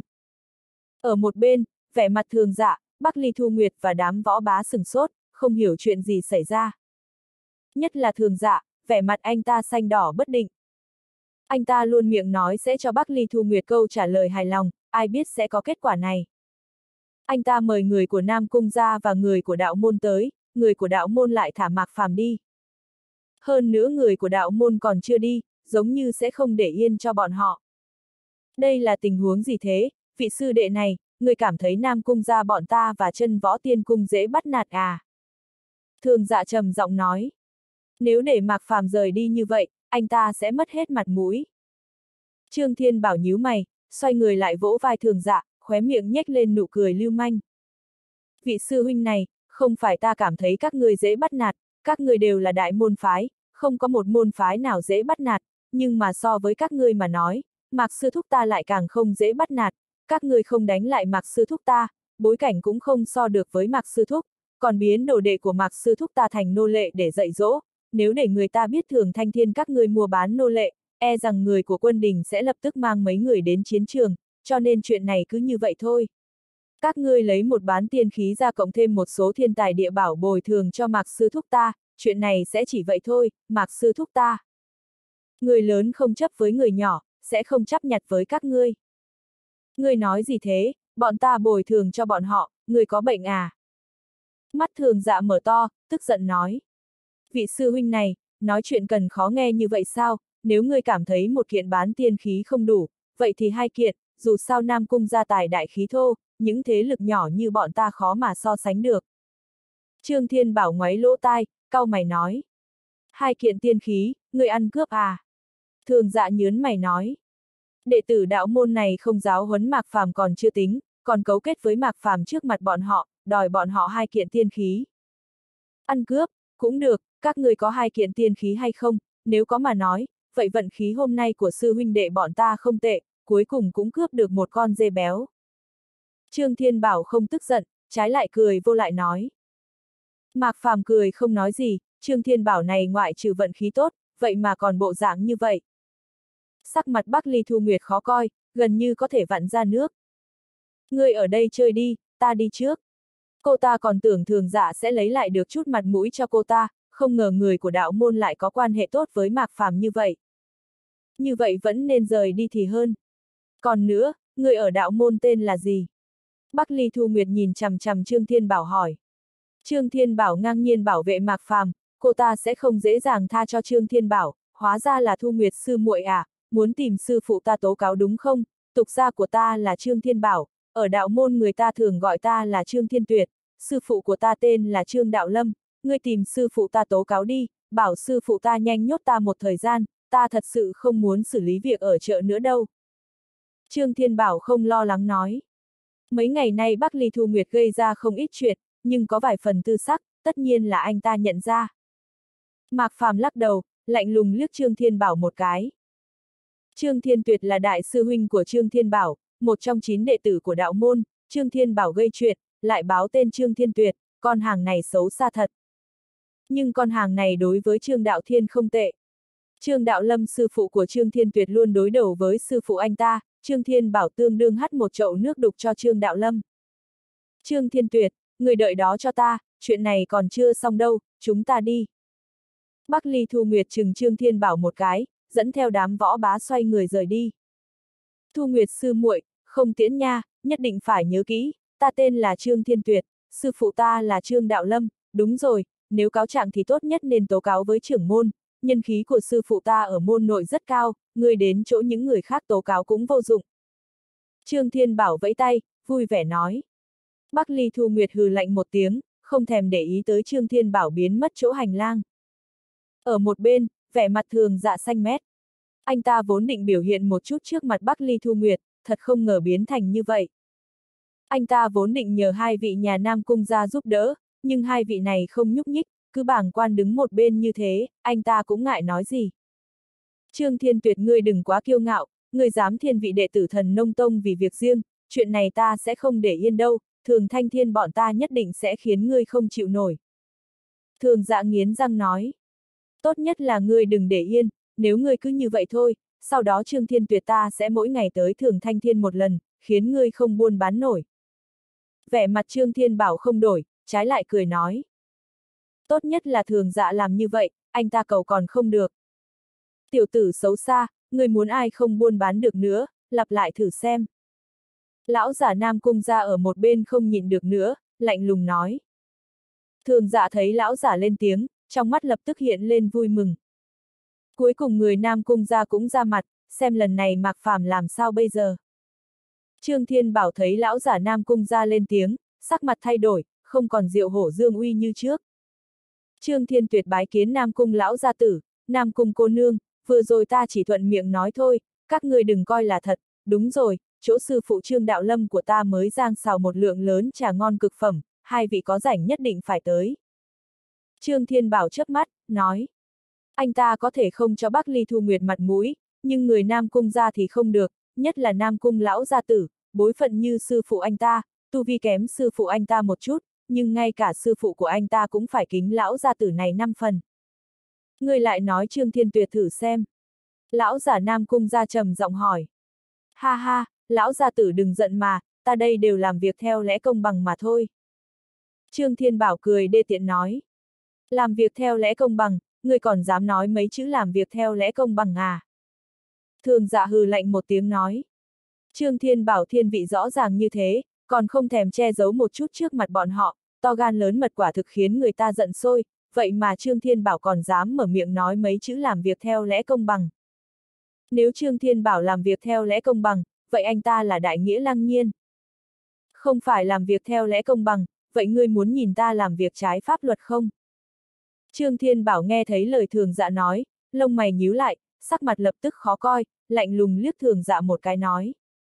Anh ta khách sáo với Nam Cung lão gia tử, đó là vì thân phận của bọn họ còn đó, anh ta nhất định phải như vậy. Nhưng thường dạ là cái thá gì, thường thanh thiên là tài sản của Nam Cung gia, nhưng thường dạ chỉ là nô bộc của Nam Cung gia mà thôi. Đừng nói là thường dạ, Bắc Ly Thu Nguyệt vừa ở đây, anh ta cũng không cho Bắc Ly Thu Nguyệt bao nhiêu sắc mặt hòa nhã. Chân võ tiên cung có quan hệ không tệ với đạo môn, nhưng chân võ tiên cung giống như một nhánh của tông gia trước mặt đạo môn. Một người của tông gia như anh ta, đối với đệ tử cùng cấp chi nhánh thế nào còn phải xem tâm tình của anh ta. Thường dạ này là cái thá gì, mà dám làm cản với anh ta. Anh ta đã nhân từ lắm rồi, tuy anh ta không thường làm việc trái pháp luật, nhưng nếu chọc giận anh ta, anh ta cũng có thể làm việc trái pháp luật một phen. Ngươi! Thường dạ chỉ tay về phía Trương Thiên Bảo, nói đến bên miệng, nhưng nhìn thấy ánh mắt chớ đến gần của Trương Thiên Bảo, lại nuốt xuống. Anh ta rời mắt, ôm quyền với lão giả Nam Cung ra. Hai vị đại nhân, đệ tử đạo môn này thật sự hơi quá đáng, vốn không để thường thanh thiên chúng ta vào mắt, mong hai vị đại nhân ra tay giáo huấn tiểu tử này một phen. Nếu anh ta không làm gì được Trương Thiên Bảo, vậy để người của Nam Cung ra. Vừa rồi Trương Thiên Bảo khách sáo với hai vị Nam Cung gia như vậy, cho dù bảo Trương Thiên Bảo quỳ xuống, Trương Thiên Bảo cũng không từ chối. Lão giả Nam Cung gia nhìn lướt qua Mạc Phàm và Trương Thiên Bảo, không nói gì thêm. Trái lại Trương Thiên Bảo nhíu mày nói. Tiểu tử, người thật sự muốn ta làm trái pháp luật đúng không? Được lắm, Trương Thiên Tuyệt ta là loại người nhân bất phạm ngã ngã bất phạm nhân, nếu ngươi phạm ta, ta nhất định phạm người, ngươi đợi đó cho ta, hôm nay ta chịu trừng phạt, ngày mai tốt nhất là ngươi đừng để Trương Thiên Tuyệt ta gặp ở chợ. Mạc Phàm ở một bên lắc đầu. Thiên bảo, đủ rồi. Tiểu tử này chơi biến thân phát nghiện rồi, sớm muộn gì cũng sẽ bị Trương Thiên Tuyệt đánh chết. Dạ, sư thúc, người xem ta đâu phải loại người thích làm chuyện trái pháp luật, ta chỉ hù dọa tên này chút thôi. Mạc Phàm chừng Trương Thiên Bảo một cái, lập tức đi ra cửa, đi tới cửa thì dừng lại, liếc mắt nhìn một già một trẻ. Tiểu thanh cô nương, Nam Cung lão gia tử, lại gặp mặt rồi, cùng đi uống trà nhé. Lần này thường dạ lại ngây ngẩn cả người. Chuyện này, chuyện này là sao đây? Đại nhân, các ngươi, các ngươi quen, quen. Chữ nhau đến bên miệng, vẫn không thể nói nên lời. Mạc Phàm có thể nói chuyện với hai vị nam cung gia như vậy, chắc chắn là quen biết, hơn nữa quan hệ không tệ lắm, nếu không sẽ không nói với giọng điệu như thế. Vừa rồi anh ta còn nghi ngờ, vì sao hai vị đại nhân vẫn đứng ở đó, không làm gì, hiện giờ anh ta hiểu rõ rồi. Ngay từ bắt đầu, Mạc Phàm đã dự liệu cho dù Nam Cung gia hay đạo môn đều không làm gì được hắn, lúc này mới liều lĩnh để anh ta đi tìm người của đạo môn và người của Nam Cung gia như vậy. Chuyện này, làm sao bây giờ? Ngay cả Trương Thiên Bảo cũng sửng sốt, vẻ mặt mờ mịt. Anh ta cũng không ngờ, vậy mà Mạc Phàm quen Nam Cung Lão Gia Tử và Nam Cung Thanh. Sớm biết sẽ như vậy, vừa rồi anh ta không cần ăn nói khép nép như thế. Mạc Sư Thúc, mọi người quen nhau à, ta còn tưởng là ta sắp bị phạt giam rồi chứ. Trương Thiên Bảo thở phào nhẹ nhõm nói. Sau này đừng làm chuyện như vậy, nếu không thì ngươi không bị phạt giam đơn giản như vậy đâu. Mạc Phàm thản nhiên nói. Xem ra đây không phải là lần đầu tiên tiểu tử này giả mạo Trương Thiên Tuyệt, hắn từng gặp Trương Thiên Tuyệt rồi, có thể nói là đạo sĩ chân chính, tranh mà không tranh, trái lại sẽ không chấp nhặt với Trương Thiên Bảo. Nhưng sư phụ của Trương Thiên Tuyệt không dễ tính như vậy, để Trương Đạo Lâm biết, sớm muộn gì cũng đánh Trương Thiên Bảo gần chết. Tuy sư phụ của Trương Thiên Bảo bất hòa với Trương Đạo Lâm, nhưng chỉ có thể nhìn, sau này lấy đồ đệ của Trương Đạo Lâm ra chút giận. Mạc sư thúc, Không phải là ta giúp sư thúc sao, nếu không sao ta lại làm vậy chứ? Trương Thiên Bảo cười gian nói. Mạc Phàm liếc mắt nhìn Trương Thiên Bảo một cái, không để ý tới anh ta nữa, rời mắt nhìn Nam Cung Thanh và Nam Cung Ly. Tiểu Thanh cô nương, sao ngươi lại tới đây, ta nhớ rõ Nam Cung gia không tham gia đại bỉ mà. Nam Cung gia tinh thông thiên mệnh huyền thuật, thứ nhất là càng không am hiểu so đấu hơn thần nông tông, còn lại là thực lực càng về sau càng khủng bố. Ngoài ra Nam Cung gia bọn họ chỉ là một gia tộc, nhân số ít hơn nhiều, quả thật như lời Trương Thiên Bảo nói, đồ không ít, cho nên Nam Cung gia là gia tộc duy nhất không tham gia đại bỉ trong rất nhiều đại tông môn. Còn có thể thế nào, nghe nói người vào thần nông tông, tham gia đại bỉ tông môn, cho nên cứ lôi kéo lão phu tới đây. Nam Cung Ly lạnh lùng nói. Ra ra, người đừng nói lung tung, chúng ta có nhiệm vụ nên mới tới đây mà. Khuôn mặt Nam Cung Thanh lập tức đỏ tới mang tai, nói. Đúng vậy, chúng ta có nhiệm vụ, nhiệm vụ của chúng ta là duy trì thường thanh thiên an ổn ở chợ, hiện giờ thường thanh thiên bị số tiểu tử này phá hỏng, dựa theo quy củ, có phải ta nên ngũ mã phân thây tiểu tử này không? Nam Cung Ly tức giận nói. Muốn gặp Mạc Phàm thì cứ nói thẳng ra, còn kiếm cớ. Ra ra, rõ ràng là thường thanh thiên muốn ép đồ đệ của Mạc Sư Huynh làm nô, lúc này Mạc Sư Huynh mới hủy thường thanh thiên, Mạc Sư Huynh không tố cáo chuyện này với quân đình đã không tệ rồi, nếu ra ra làm huynh ấy bị thương, chuyện này sẽ càng ẩm ý hơn. Nam Cung Thanh chớp mắt, nói. Nam Cung Ly lắc đầu thở dài, ánh mắt nhìn Nam Cung Thanh như nhìn một người không có thuốc nào cứu được. Nhà đầu này kéo ông chạy xa như vậy còn chưa tính, bây giờ còn giúp Mạc Phàm đối phó Nam Cung ra bọn họ, sớm muộn gì cũng thành phản đồ của Nam Cung ra. Nhà đầu ngốc con thích nói thế nào thì thế vậy đi, dù sao con cũng gặp được người rồi, nhiệm vụ của ta đã hoàn thành, còn lại tự con nhìn mà làm, ta phải đi tìm Trương Đạo Lâm dùng trà. Ông đã mang Tiểu Thanh tới, nơi diễn ra đại bỉ rất an toàn, mỗi người đi vào đều có thân phận, ông không cần phải ở đây làm bóng đèn nữa. Trương Thiên Bảo nói chỗ Trương Đạo Lâm có trà ngon, đúng lúc qua đó uống ké chút. Có là tốt nhất, nếu không có, ông sẽ quay lại đánh chết Trương Thiên Bảo. Trương Thiên Bảo giống như cảm nhận được ánh mắt bất thiện của Nam Cung Ly, trái tim đập thình thịch, vội vàng lùi về phía sau Mạc Phàm. Ra ra, vậy xử lý người kia thế nào đây? Nam Cung Thành giữ chặt tay Nam Cung Ly, hỏi. Tuy Mạc Phàm đã không so đo, nhưng chuyện này đã xảy ra, bọn họ cần phải cho Mạc Phàm công đạo. Chuyện này sao?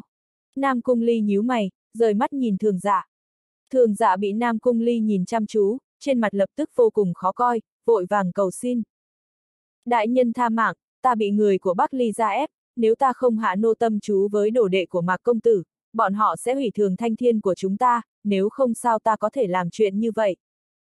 Ta nhớ rõ trong quy củ Nam Cung gia bọn ta định cho các ngươi có một quy củ, không được phép cưỡng ép sử dụng nô tâm chú với những người khác, trừ phi người đó hoàn toàn cam tâm tình nguyện, không sai đúng không?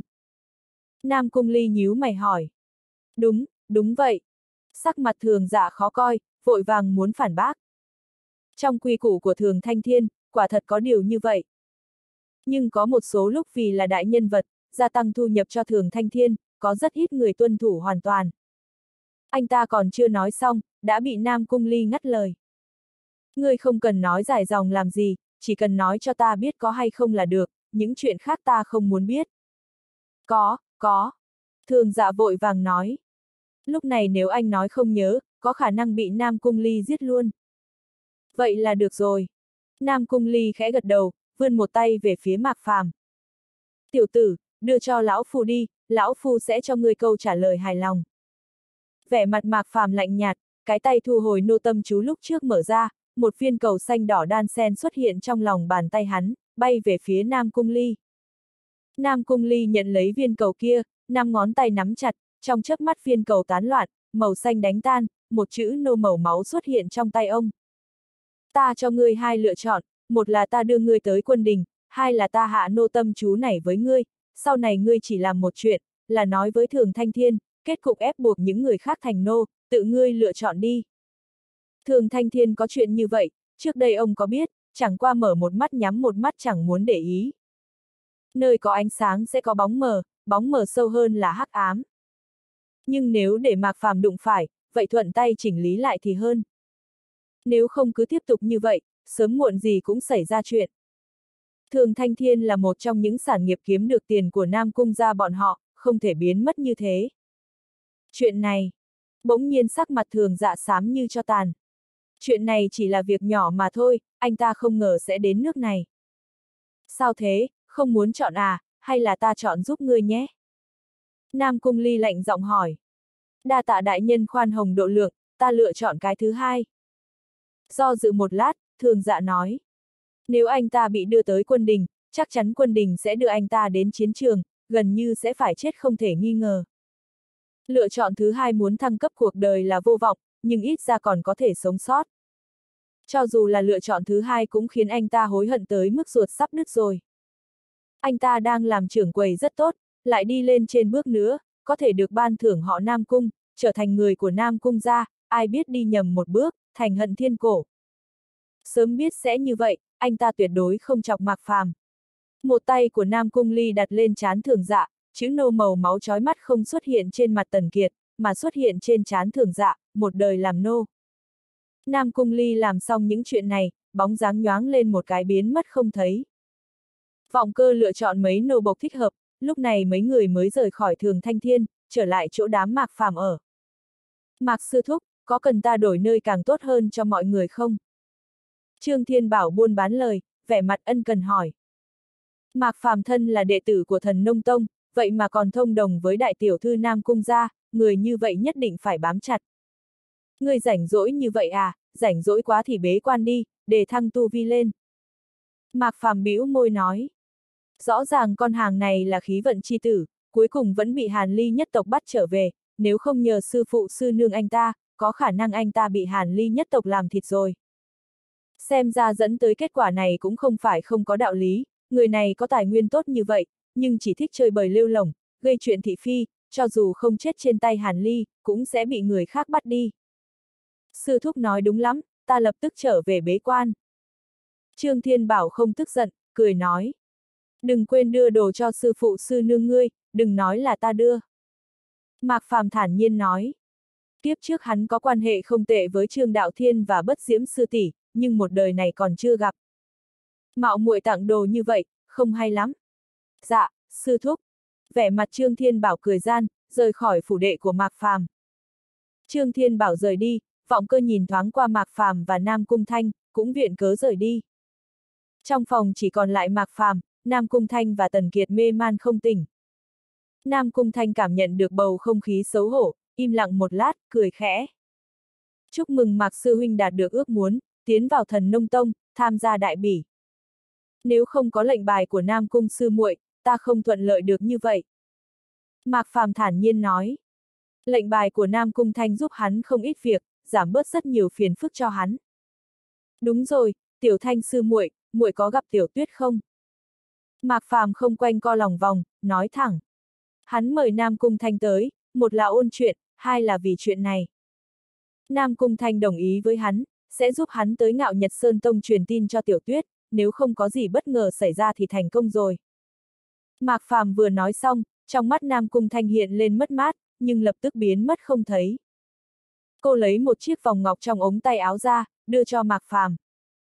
Chuyện đồng ý với Mạc Sư Huynh, tất nhiên Tiểu Thanh sẽ làm được, ta không chỉ gặp được Tiểu Tuyết tỷ tỷ, Tiểu Tuyết tỷ tỷ còn đưa cho ta thứ này, bảo ta chuyển cho Huynh, nói tỷ ấy đợi Huynh. Mạc Phàm nhìn thấy vòng ngọc này, trong đôi mắt bình tĩnh xuất hiện gợn sóng. Vòng ngọc này vốn là mẹ hắn đưa cho Tiểu Tuyết, xem như là tín vật đính hôn giữa hắn và Tiểu Tuyết, sau đó được hắn đổi thành một kiện pháp khí phòng thân.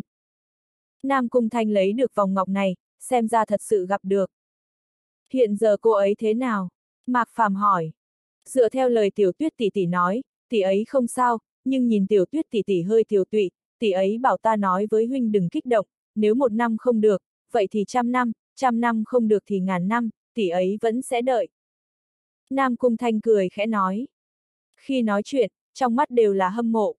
Lúc trước cô vẫn tò mò, người như thế nào mới xứng đôi với Mạc Sư Huynh, gặp được tiểu tuyết cô mới hiểu được, cái gì gọi là ông trời tác hợp, tình trạng ý thiếp. Một người vì cô từ hạ giới sông tới tu chân giới, muốn là địch với môn gần đứng đầu ở tu chân giới.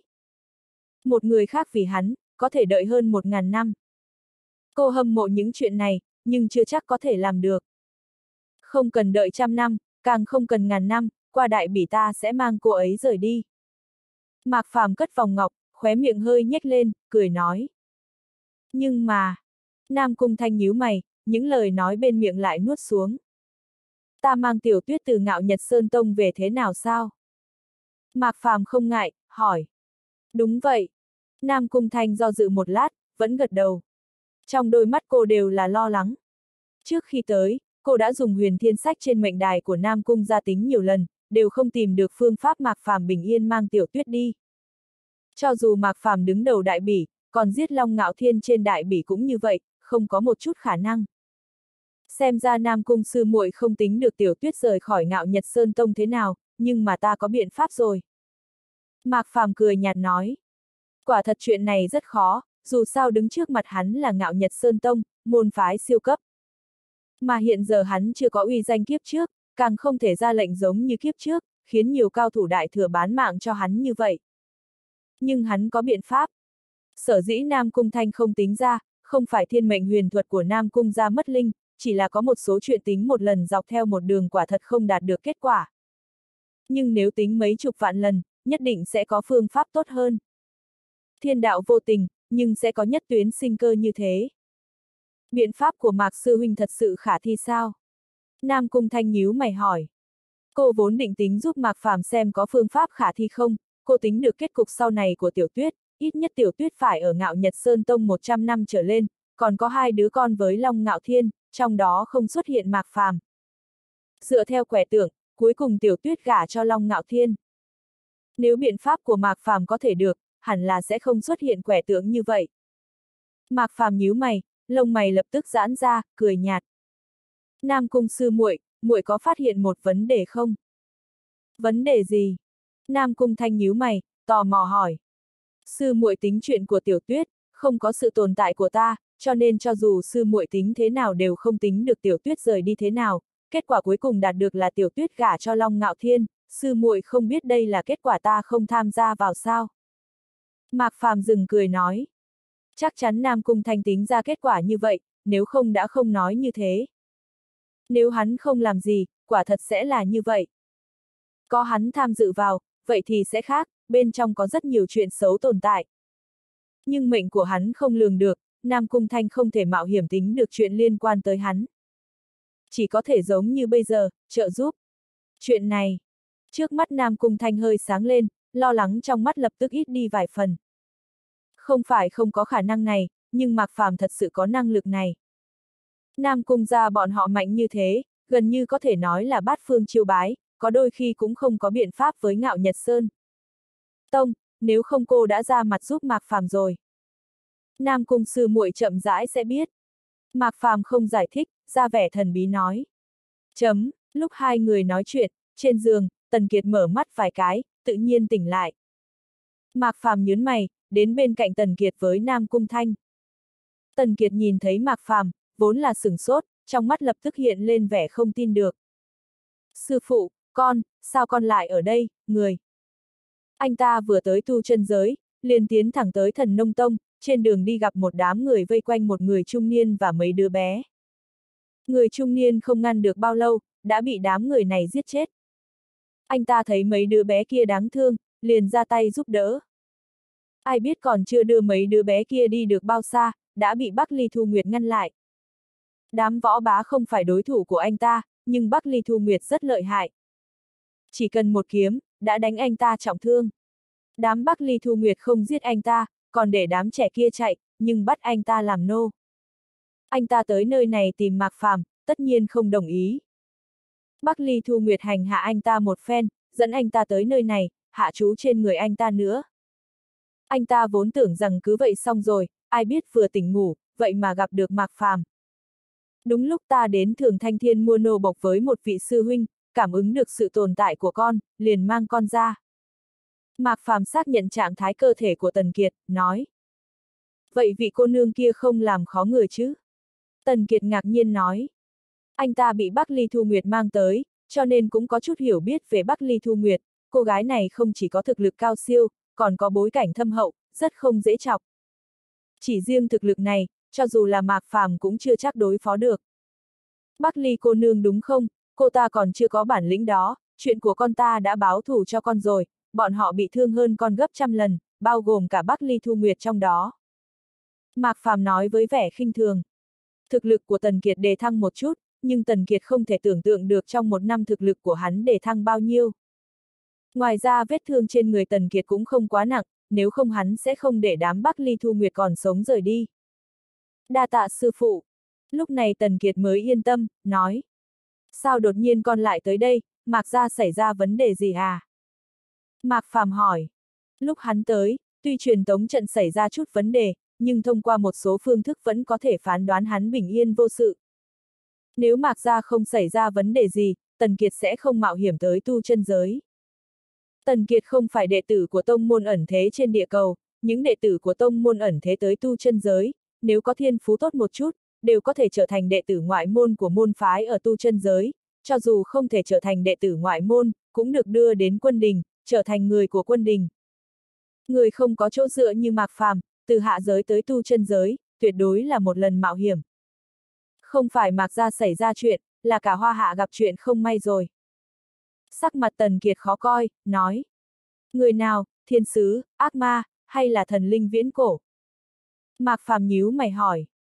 Trước khi hắn tới cố ý xem xét địa cầu, truyền thừa trên đại cầu phần lớn là những thứ này.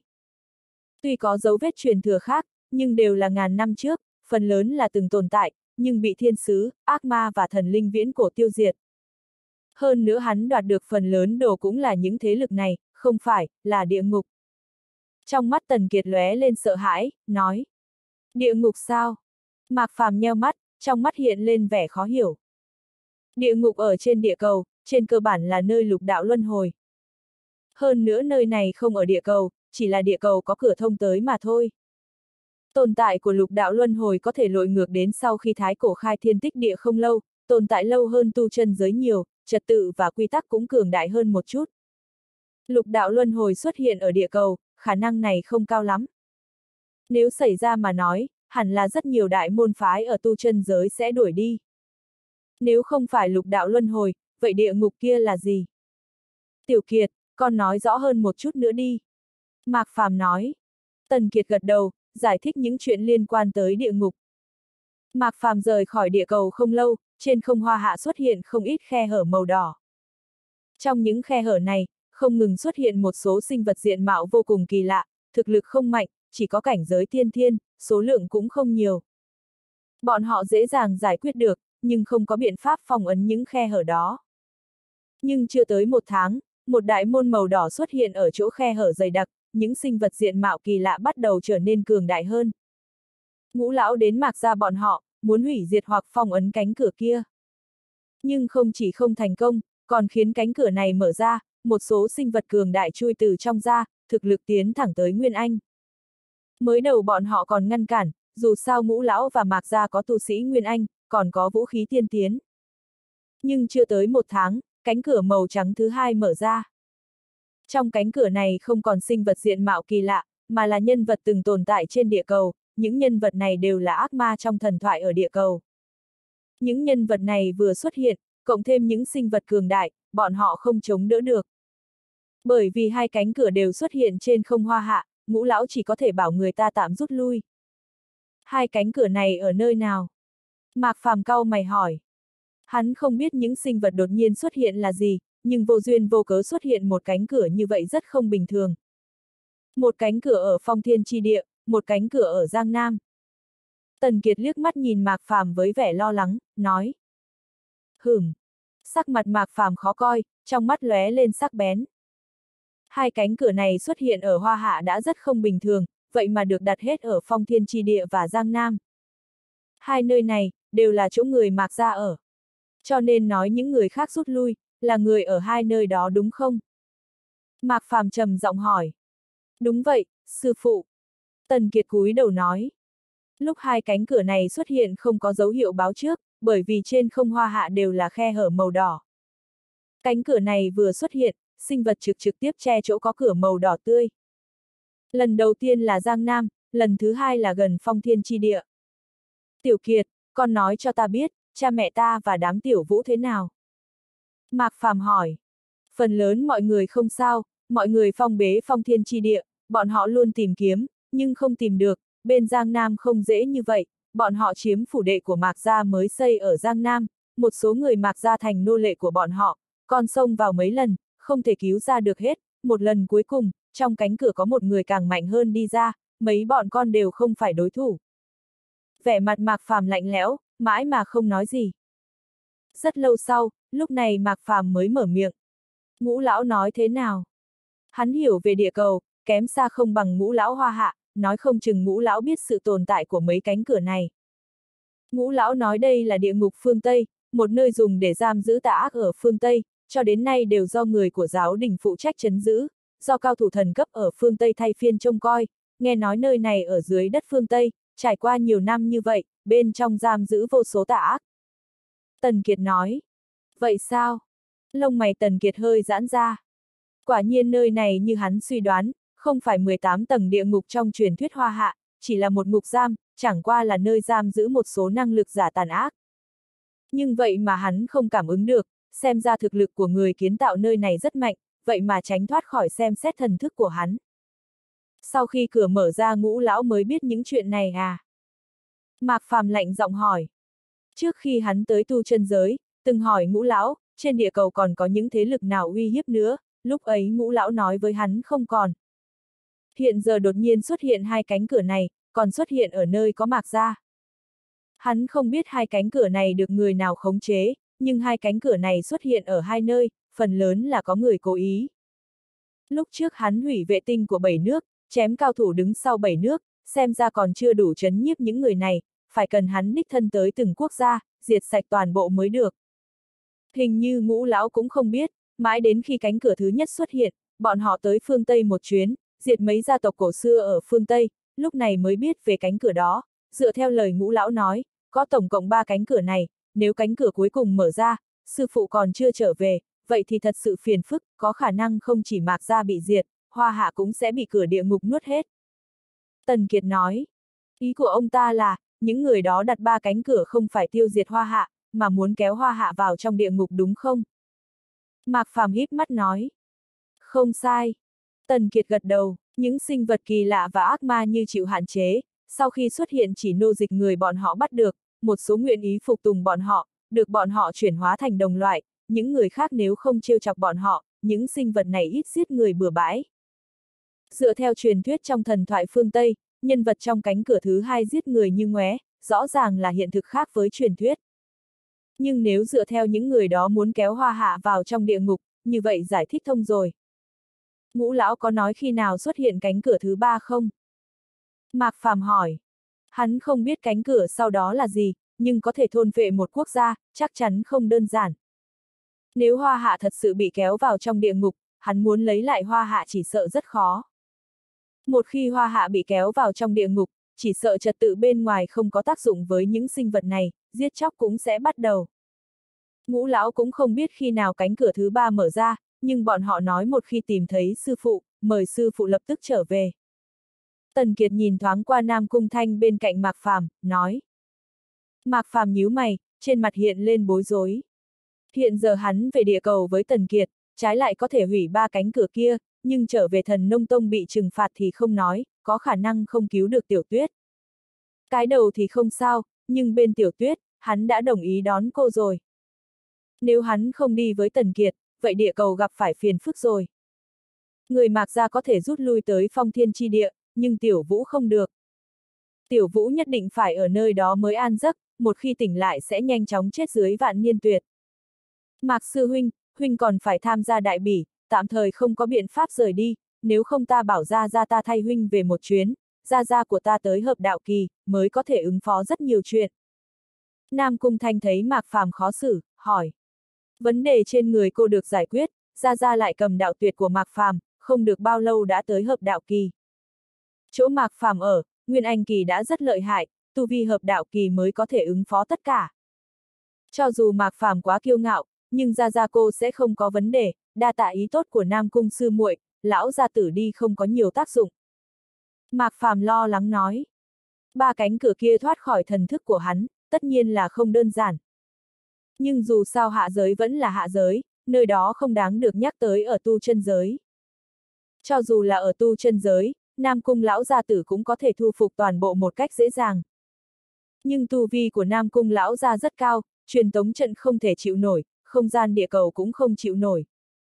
Cho dù Nam Cung lão gia tử dáng thực lực xuống Nguyên Anh kỳ tới địa cầu, cũng không thể phóng thích quá nhiều thực lực vượt quá Nguyên Anh kỳ, nếu không chưa thể giải quyết ba cánh cửa kia, trái lại phá nát không gian pháp tắc ở địa cầu. Cho nên thay vì để cao thủ hợp đạo kỳ như Nam Cung lão gia tử đi, chẳng bằng tìm một cao thủ Nguyên Anh đỉnh phong đi. Mạc Sư Huynh không định tự mình trở về đấy chứ? Nam Cung Thanh nhìn Mạc Phàm, nói. Còn hai ngày nữa là bắt đầu đại bỉ, cho dù Mạc Phàm từ bỏ tiểu tuyết, không tham gia chiến đấu, thần nông tông cũng không đồng ý. Ta còn phải cửu tiểu tuyết, tạm thời không thể trở về. Mạc Phàm lắc đầu nói. Tần Kiệt không nói gì, anh ta biết rõ chuyện của Mạc Phàm hơn Nam Cung Thanh, nếu không phải mọi chuyện quá đột ngột, anh ta sẽ không đến tìm Mạc Phàm, bảo Mạc Phàm lập tức trở về. Nếu Mạc Phàm lập tức trở về, chắc chắn phải từ bỏ Bạch tiểu thư. Vậy huynh làm sao bây giờ, Mạc sư huynh? Nam Cung Thanh hỏi. Ta sẽ tìm hai người đi thay ta một chuyến. Mạc Phàm nghĩ một lát nói. Hiện giờ hắn trở về, rất nhiều chuyện làm lúc trước sẽ thất bại trong gang tấc. Thay vì như vậy, chẳng bằng tìm hai người thực lực không kém hắn nhiều giúp đỡ, ví dụ như vọng cơ sư huynh. Đúng lúc vọng cơ sư huynh cũng là nguyên anh kỳ, không cần tham gia đại bỉ, thực lực thì khỏi phải nói, hiện giờ hắn có thể thắng vọng cơ sư huynh, nhưng rất vất vả. Nếu vọng cơ không thể hủy diệt hai cánh cửa kia, có lẽ hắn cũng như vậy. Còn một người khác, để Trương Thiên Bảo đi là được.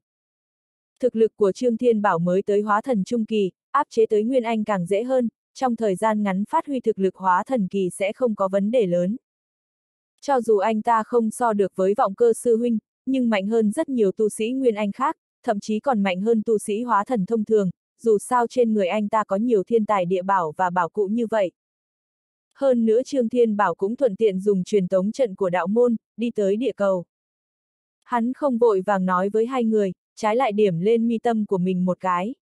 Theo hắn khẽ điểm, chữ chấn kia lập tức xuất hiện chỗ mi tâm hắn. Cả ngày Trương Thiên Bảo chơi bời lêu lỏng, bảo anh ta đi một chuyến có lẽ không thành vấn đề.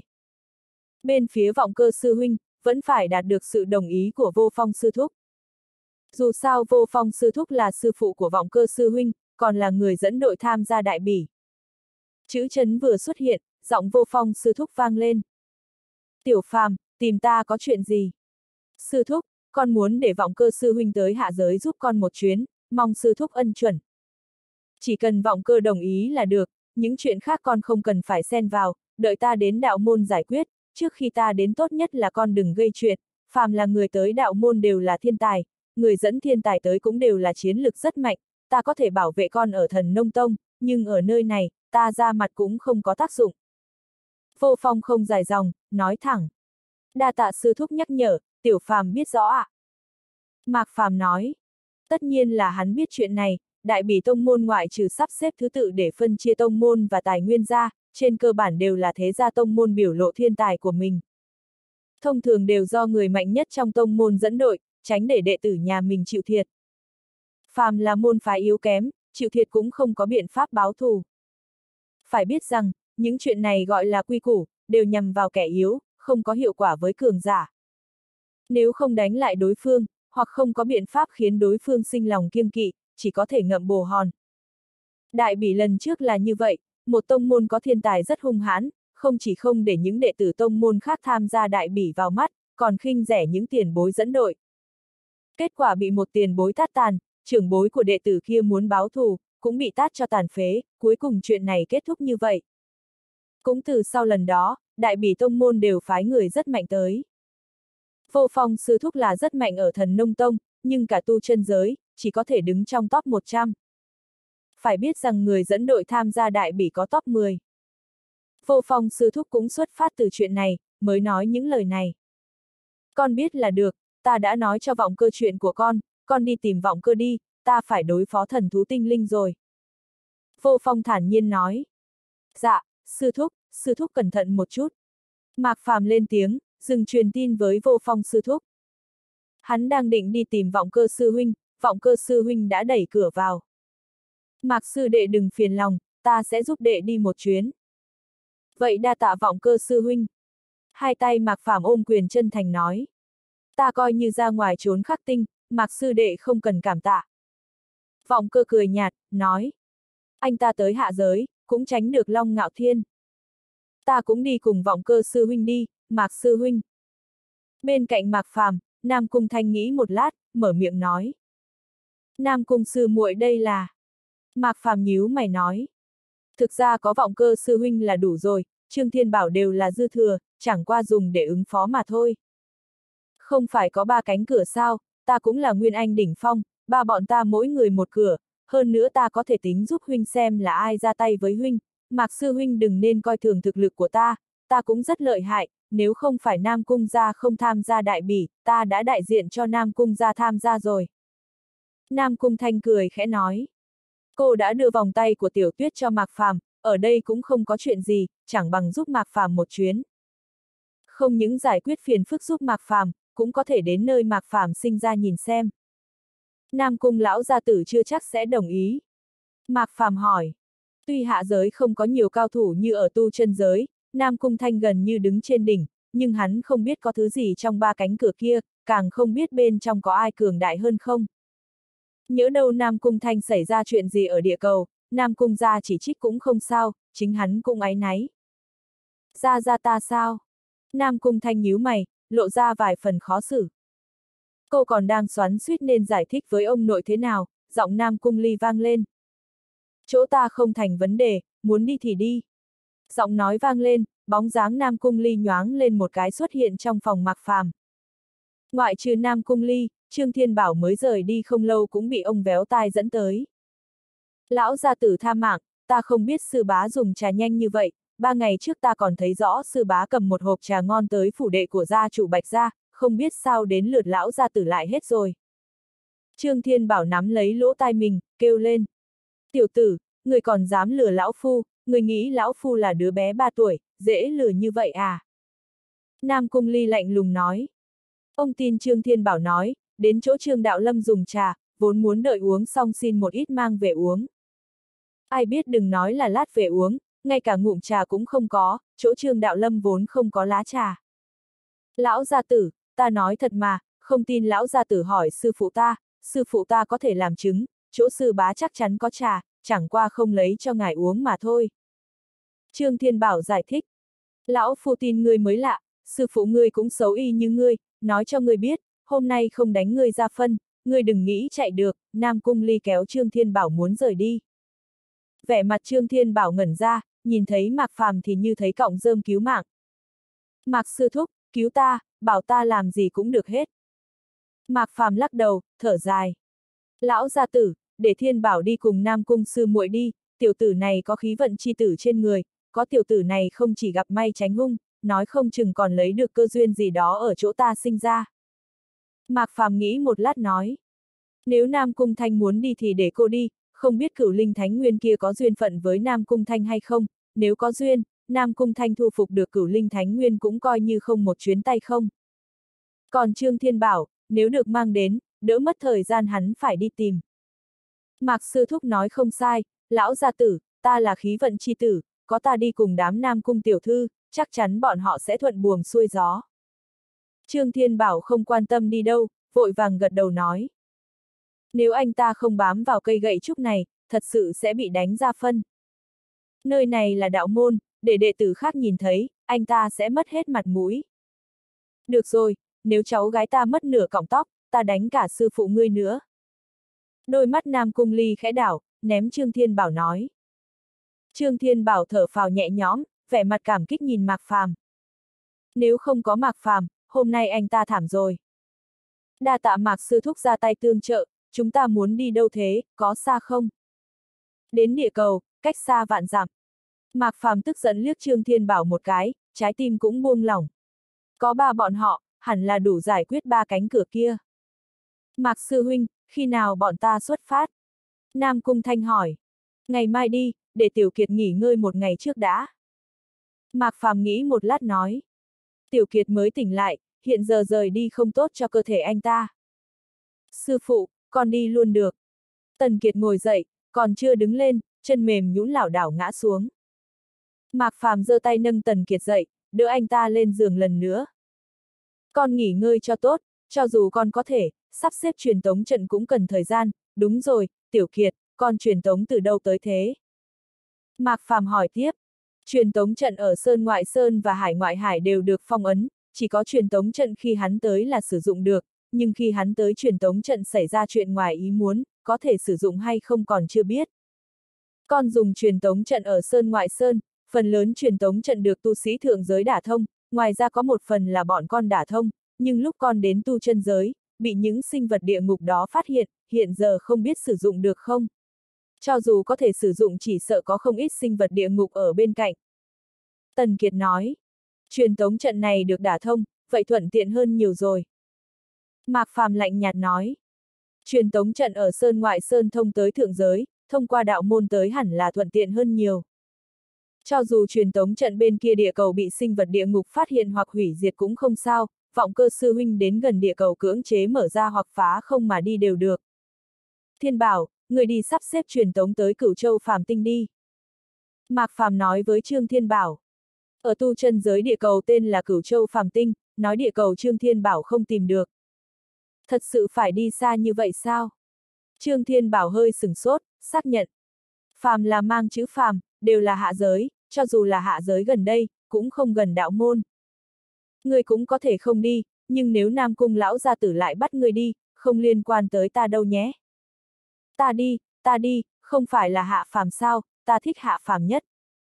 Trương Thiên Bảo vội vàng tươi cười nịnh nọt, nói. Đến lúc đó, thoát thai chi thể này của ta sẽ cùng về với mọi người.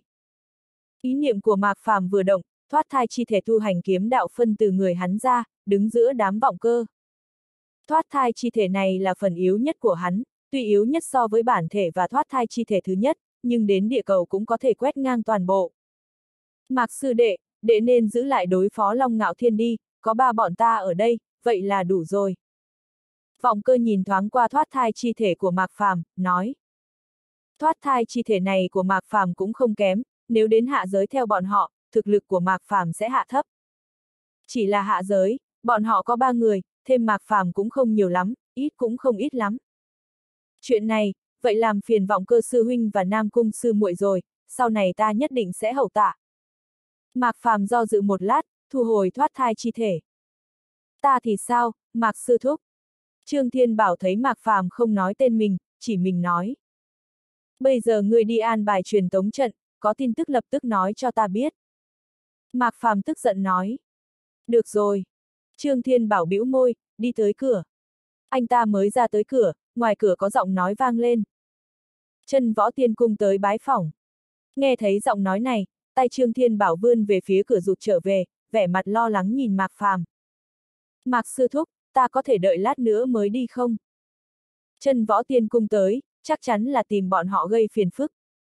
Hiện giờ anh ta ra ngoài, chắc chắn sẽ bị Bắc Ly Thu Nguyệt bắt. Mạc Phàm nhíu mày, đi ra ngoài. Hắn còn chưa ra khỏi cửa, vô ngần sư thúc đã nhoáng lên một cái xuất hiện ở cửa phủ đệ của hắn.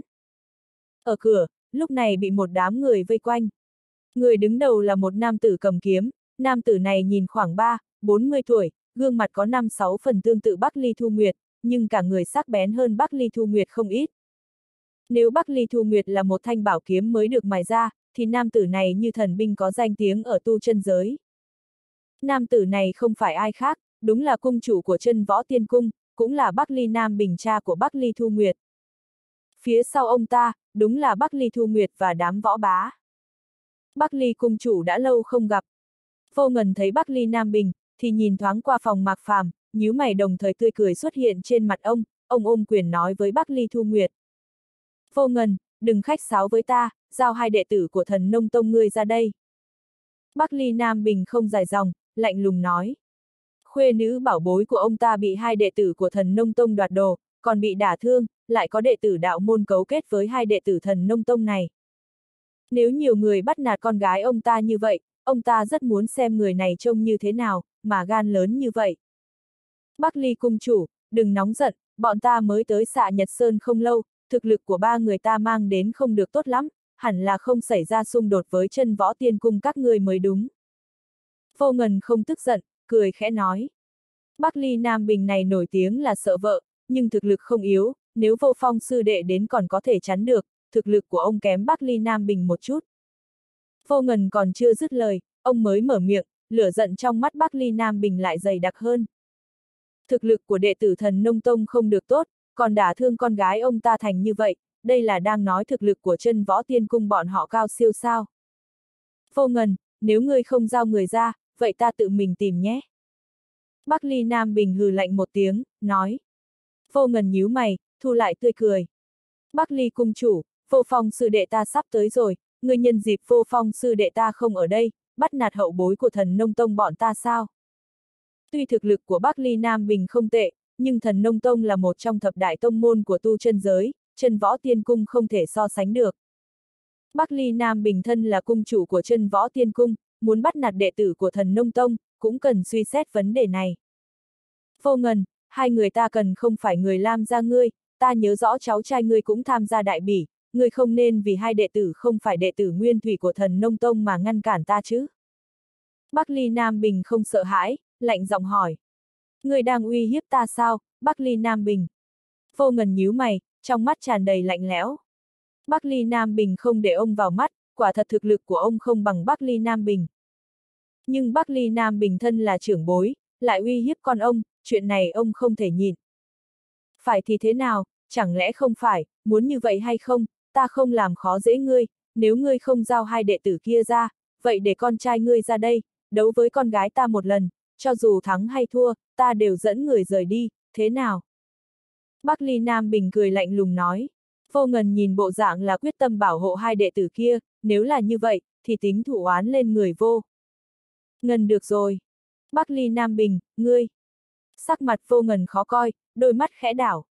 Sao ông không biết con gái của Bắc Ly Nam Bình, thiên tài ôm kiếm mà sinh, chân võ pháp kiếm đã tu tới Nguyệt Luân. Phải biết rằng Bắc Ly Nam Bình mạnh như vậy, đã tu chân võ pháp kiếm đến Nguyệt Luân. Ở thần Nông Tông, có thể áp trụ Bắc Ly Nam Bình chỉ sợ có vô địch, vô phong và trưởng môn, đầy đủ để thấy uy lực của chân võ pháp kiếm Nguyệt Luân.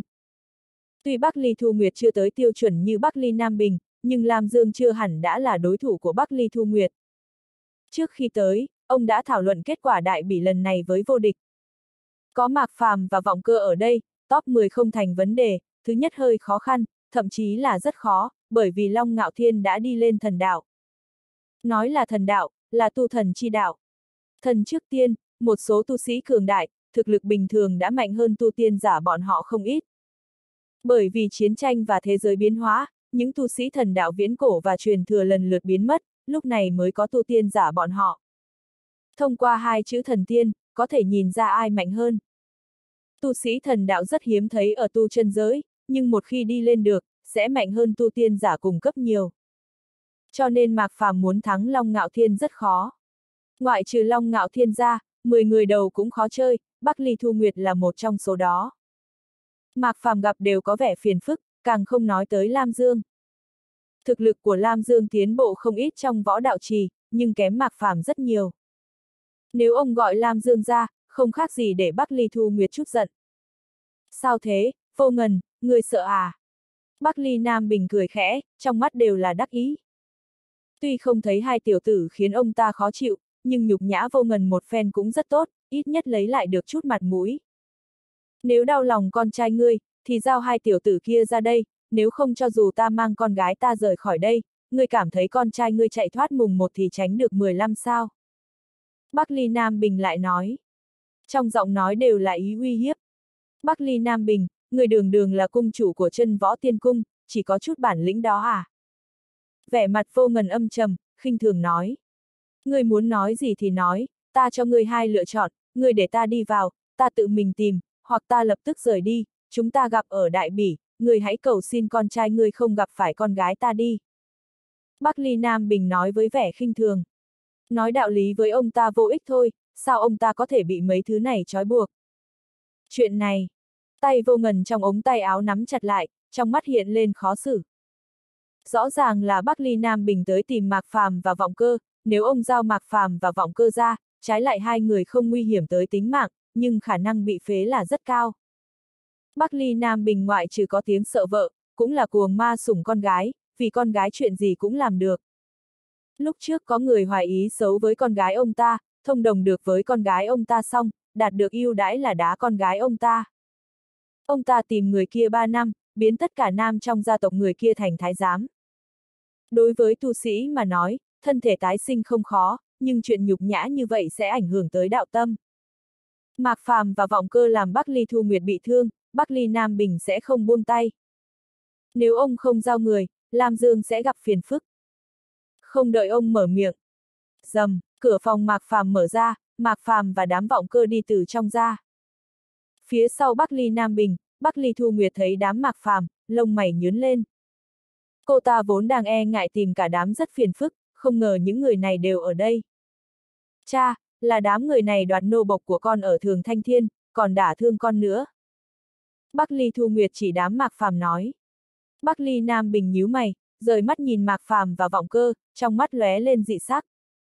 Trong đám Mạc Phàm, chỉ có Mạc Phàm và vọng cơ có khí thức rất mạnh, cũng chỉ có thể là hai bọn họ. Nhưng thần nông tông đúng là có vận khí tốt, vậy mà tìm được hai thiên tài như vậy. Khí tức trên người Mạc Phàm phức tạp, có khoảng 8-9 loại lực lượng, nhưng trong phức tạp lại lộ ra viên mãn. Chỉ người mỗi cảnh giới đều viên mãn, mới có khí tức như vậy. Người như vậy, trước đây ông ta chưa từng gặp, sau này gặp được cũng có xác suất không lớn, Mạc Phàm là người đầu tiên.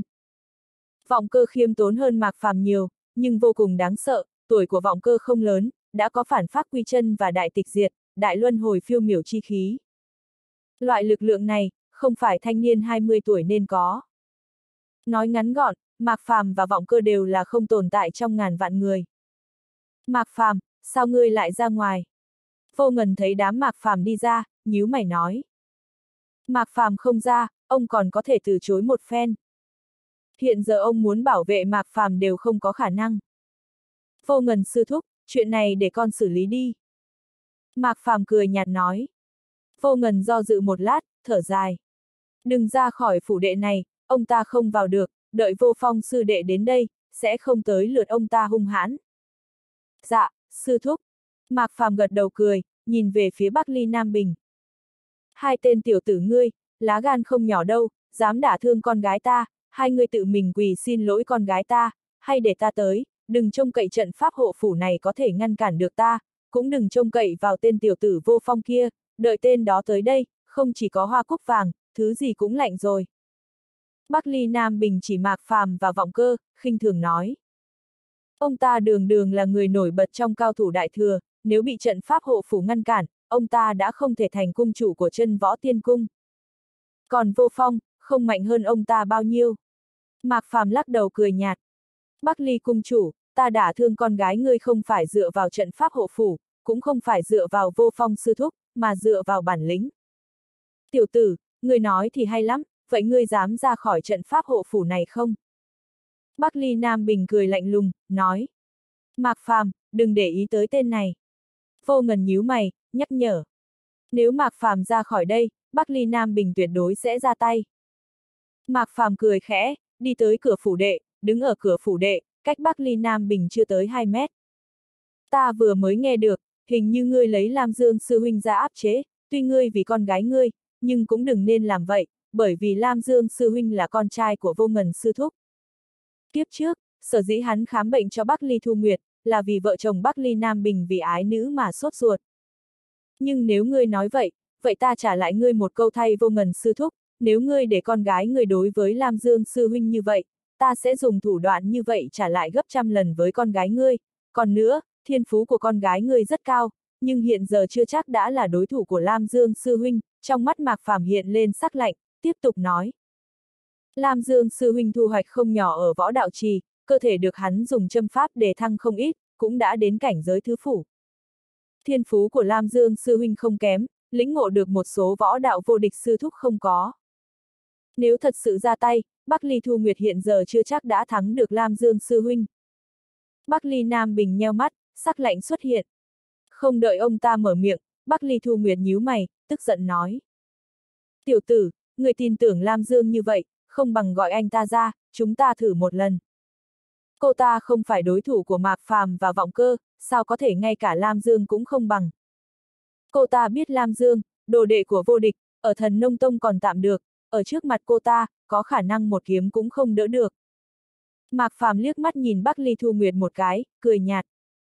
Với trạng thái này của ngươi, Lam Dương sư huynh ta sẽ không ra tay với ngươi, thứ nhất là huynh ấy không thích đánh phụ nữ, hai là không ra tay với người bị thương. Bắc Ly Thu Nguyệt khẽ nâng mí mắt, ước gì có thể xé nát Mạc Phàm. Tiểu tử, ta phải giết ngươi. Mạc Phàm đánh bại cô ta còn chưa tính, vậy mà còn nhục nhã cô ta, đây là chuyện cô ta không thể chịu được. Cô ta nói xong, trường kiếm cổ ngọc xuất hiện trong tay cô ta. Bên cạnh, Bắc Ly Nam Bình khẽ cao mày, một tay ngăn Bắc Ly Thu Nguyệt, lạnh lùng đánh giá Mạc Phàm. Tiểu tử, ta vì con gái ta làm gì, không cần người ngoài như ngươi xen miệng vào, trái lại là ngươi, một đệ tử của thần nông tông được lựa chọn từ hải tuyển, ta rất tò mò ngươi lấy đâu ra dũng khí, mà dám nói chuyện với ta như vậy, Nam Cung ra sao? Rõ ràng Mạc Phàm chỉ có thực lực Nguyên Anh đỉnh phong, tuy mạnh hơn người cùng cấp rất nhiều, nhưng ở trong mắt ông ta không khác gì con kiến.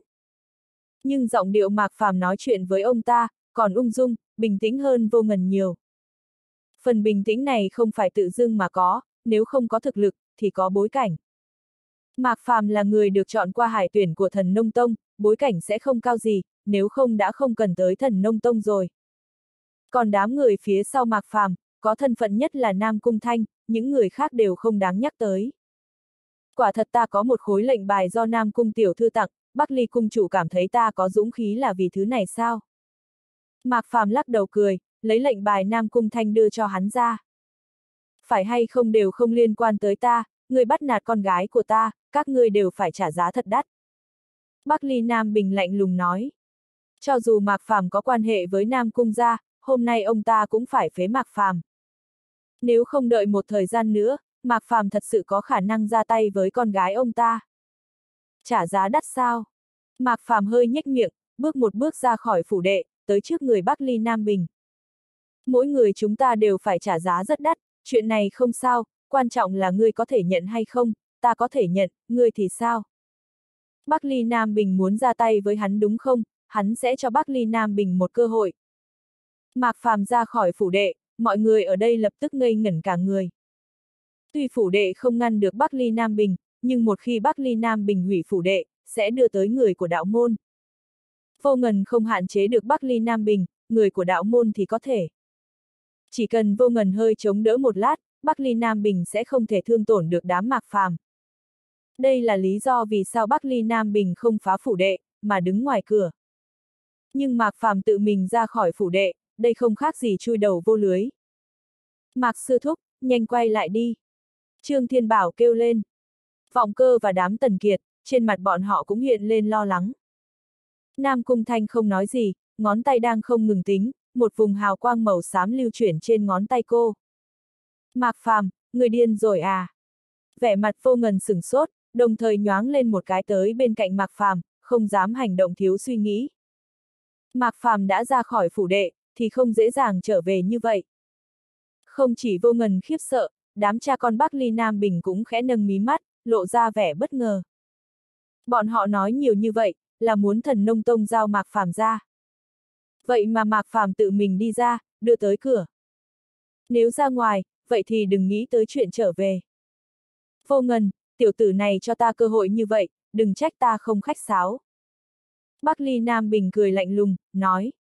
Ông ta vốn đang lo lắng đưa tới người đạo môn, hiện giờ không cần phải lo lắng nữa.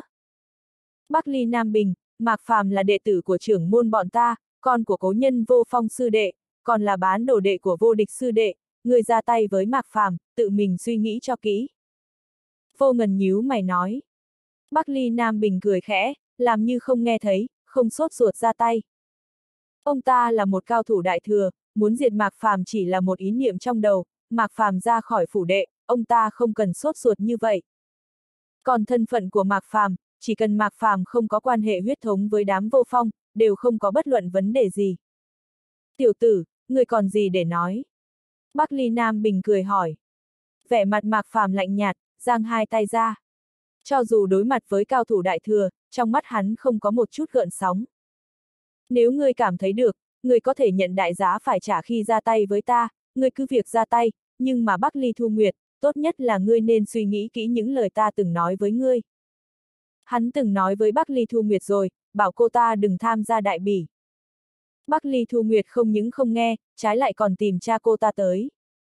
Một khi Bắc Ly Thu Nguyệt tham gia đại bỉ, sẽ giống như kiếp trước, ngủ say mấy trăm năm.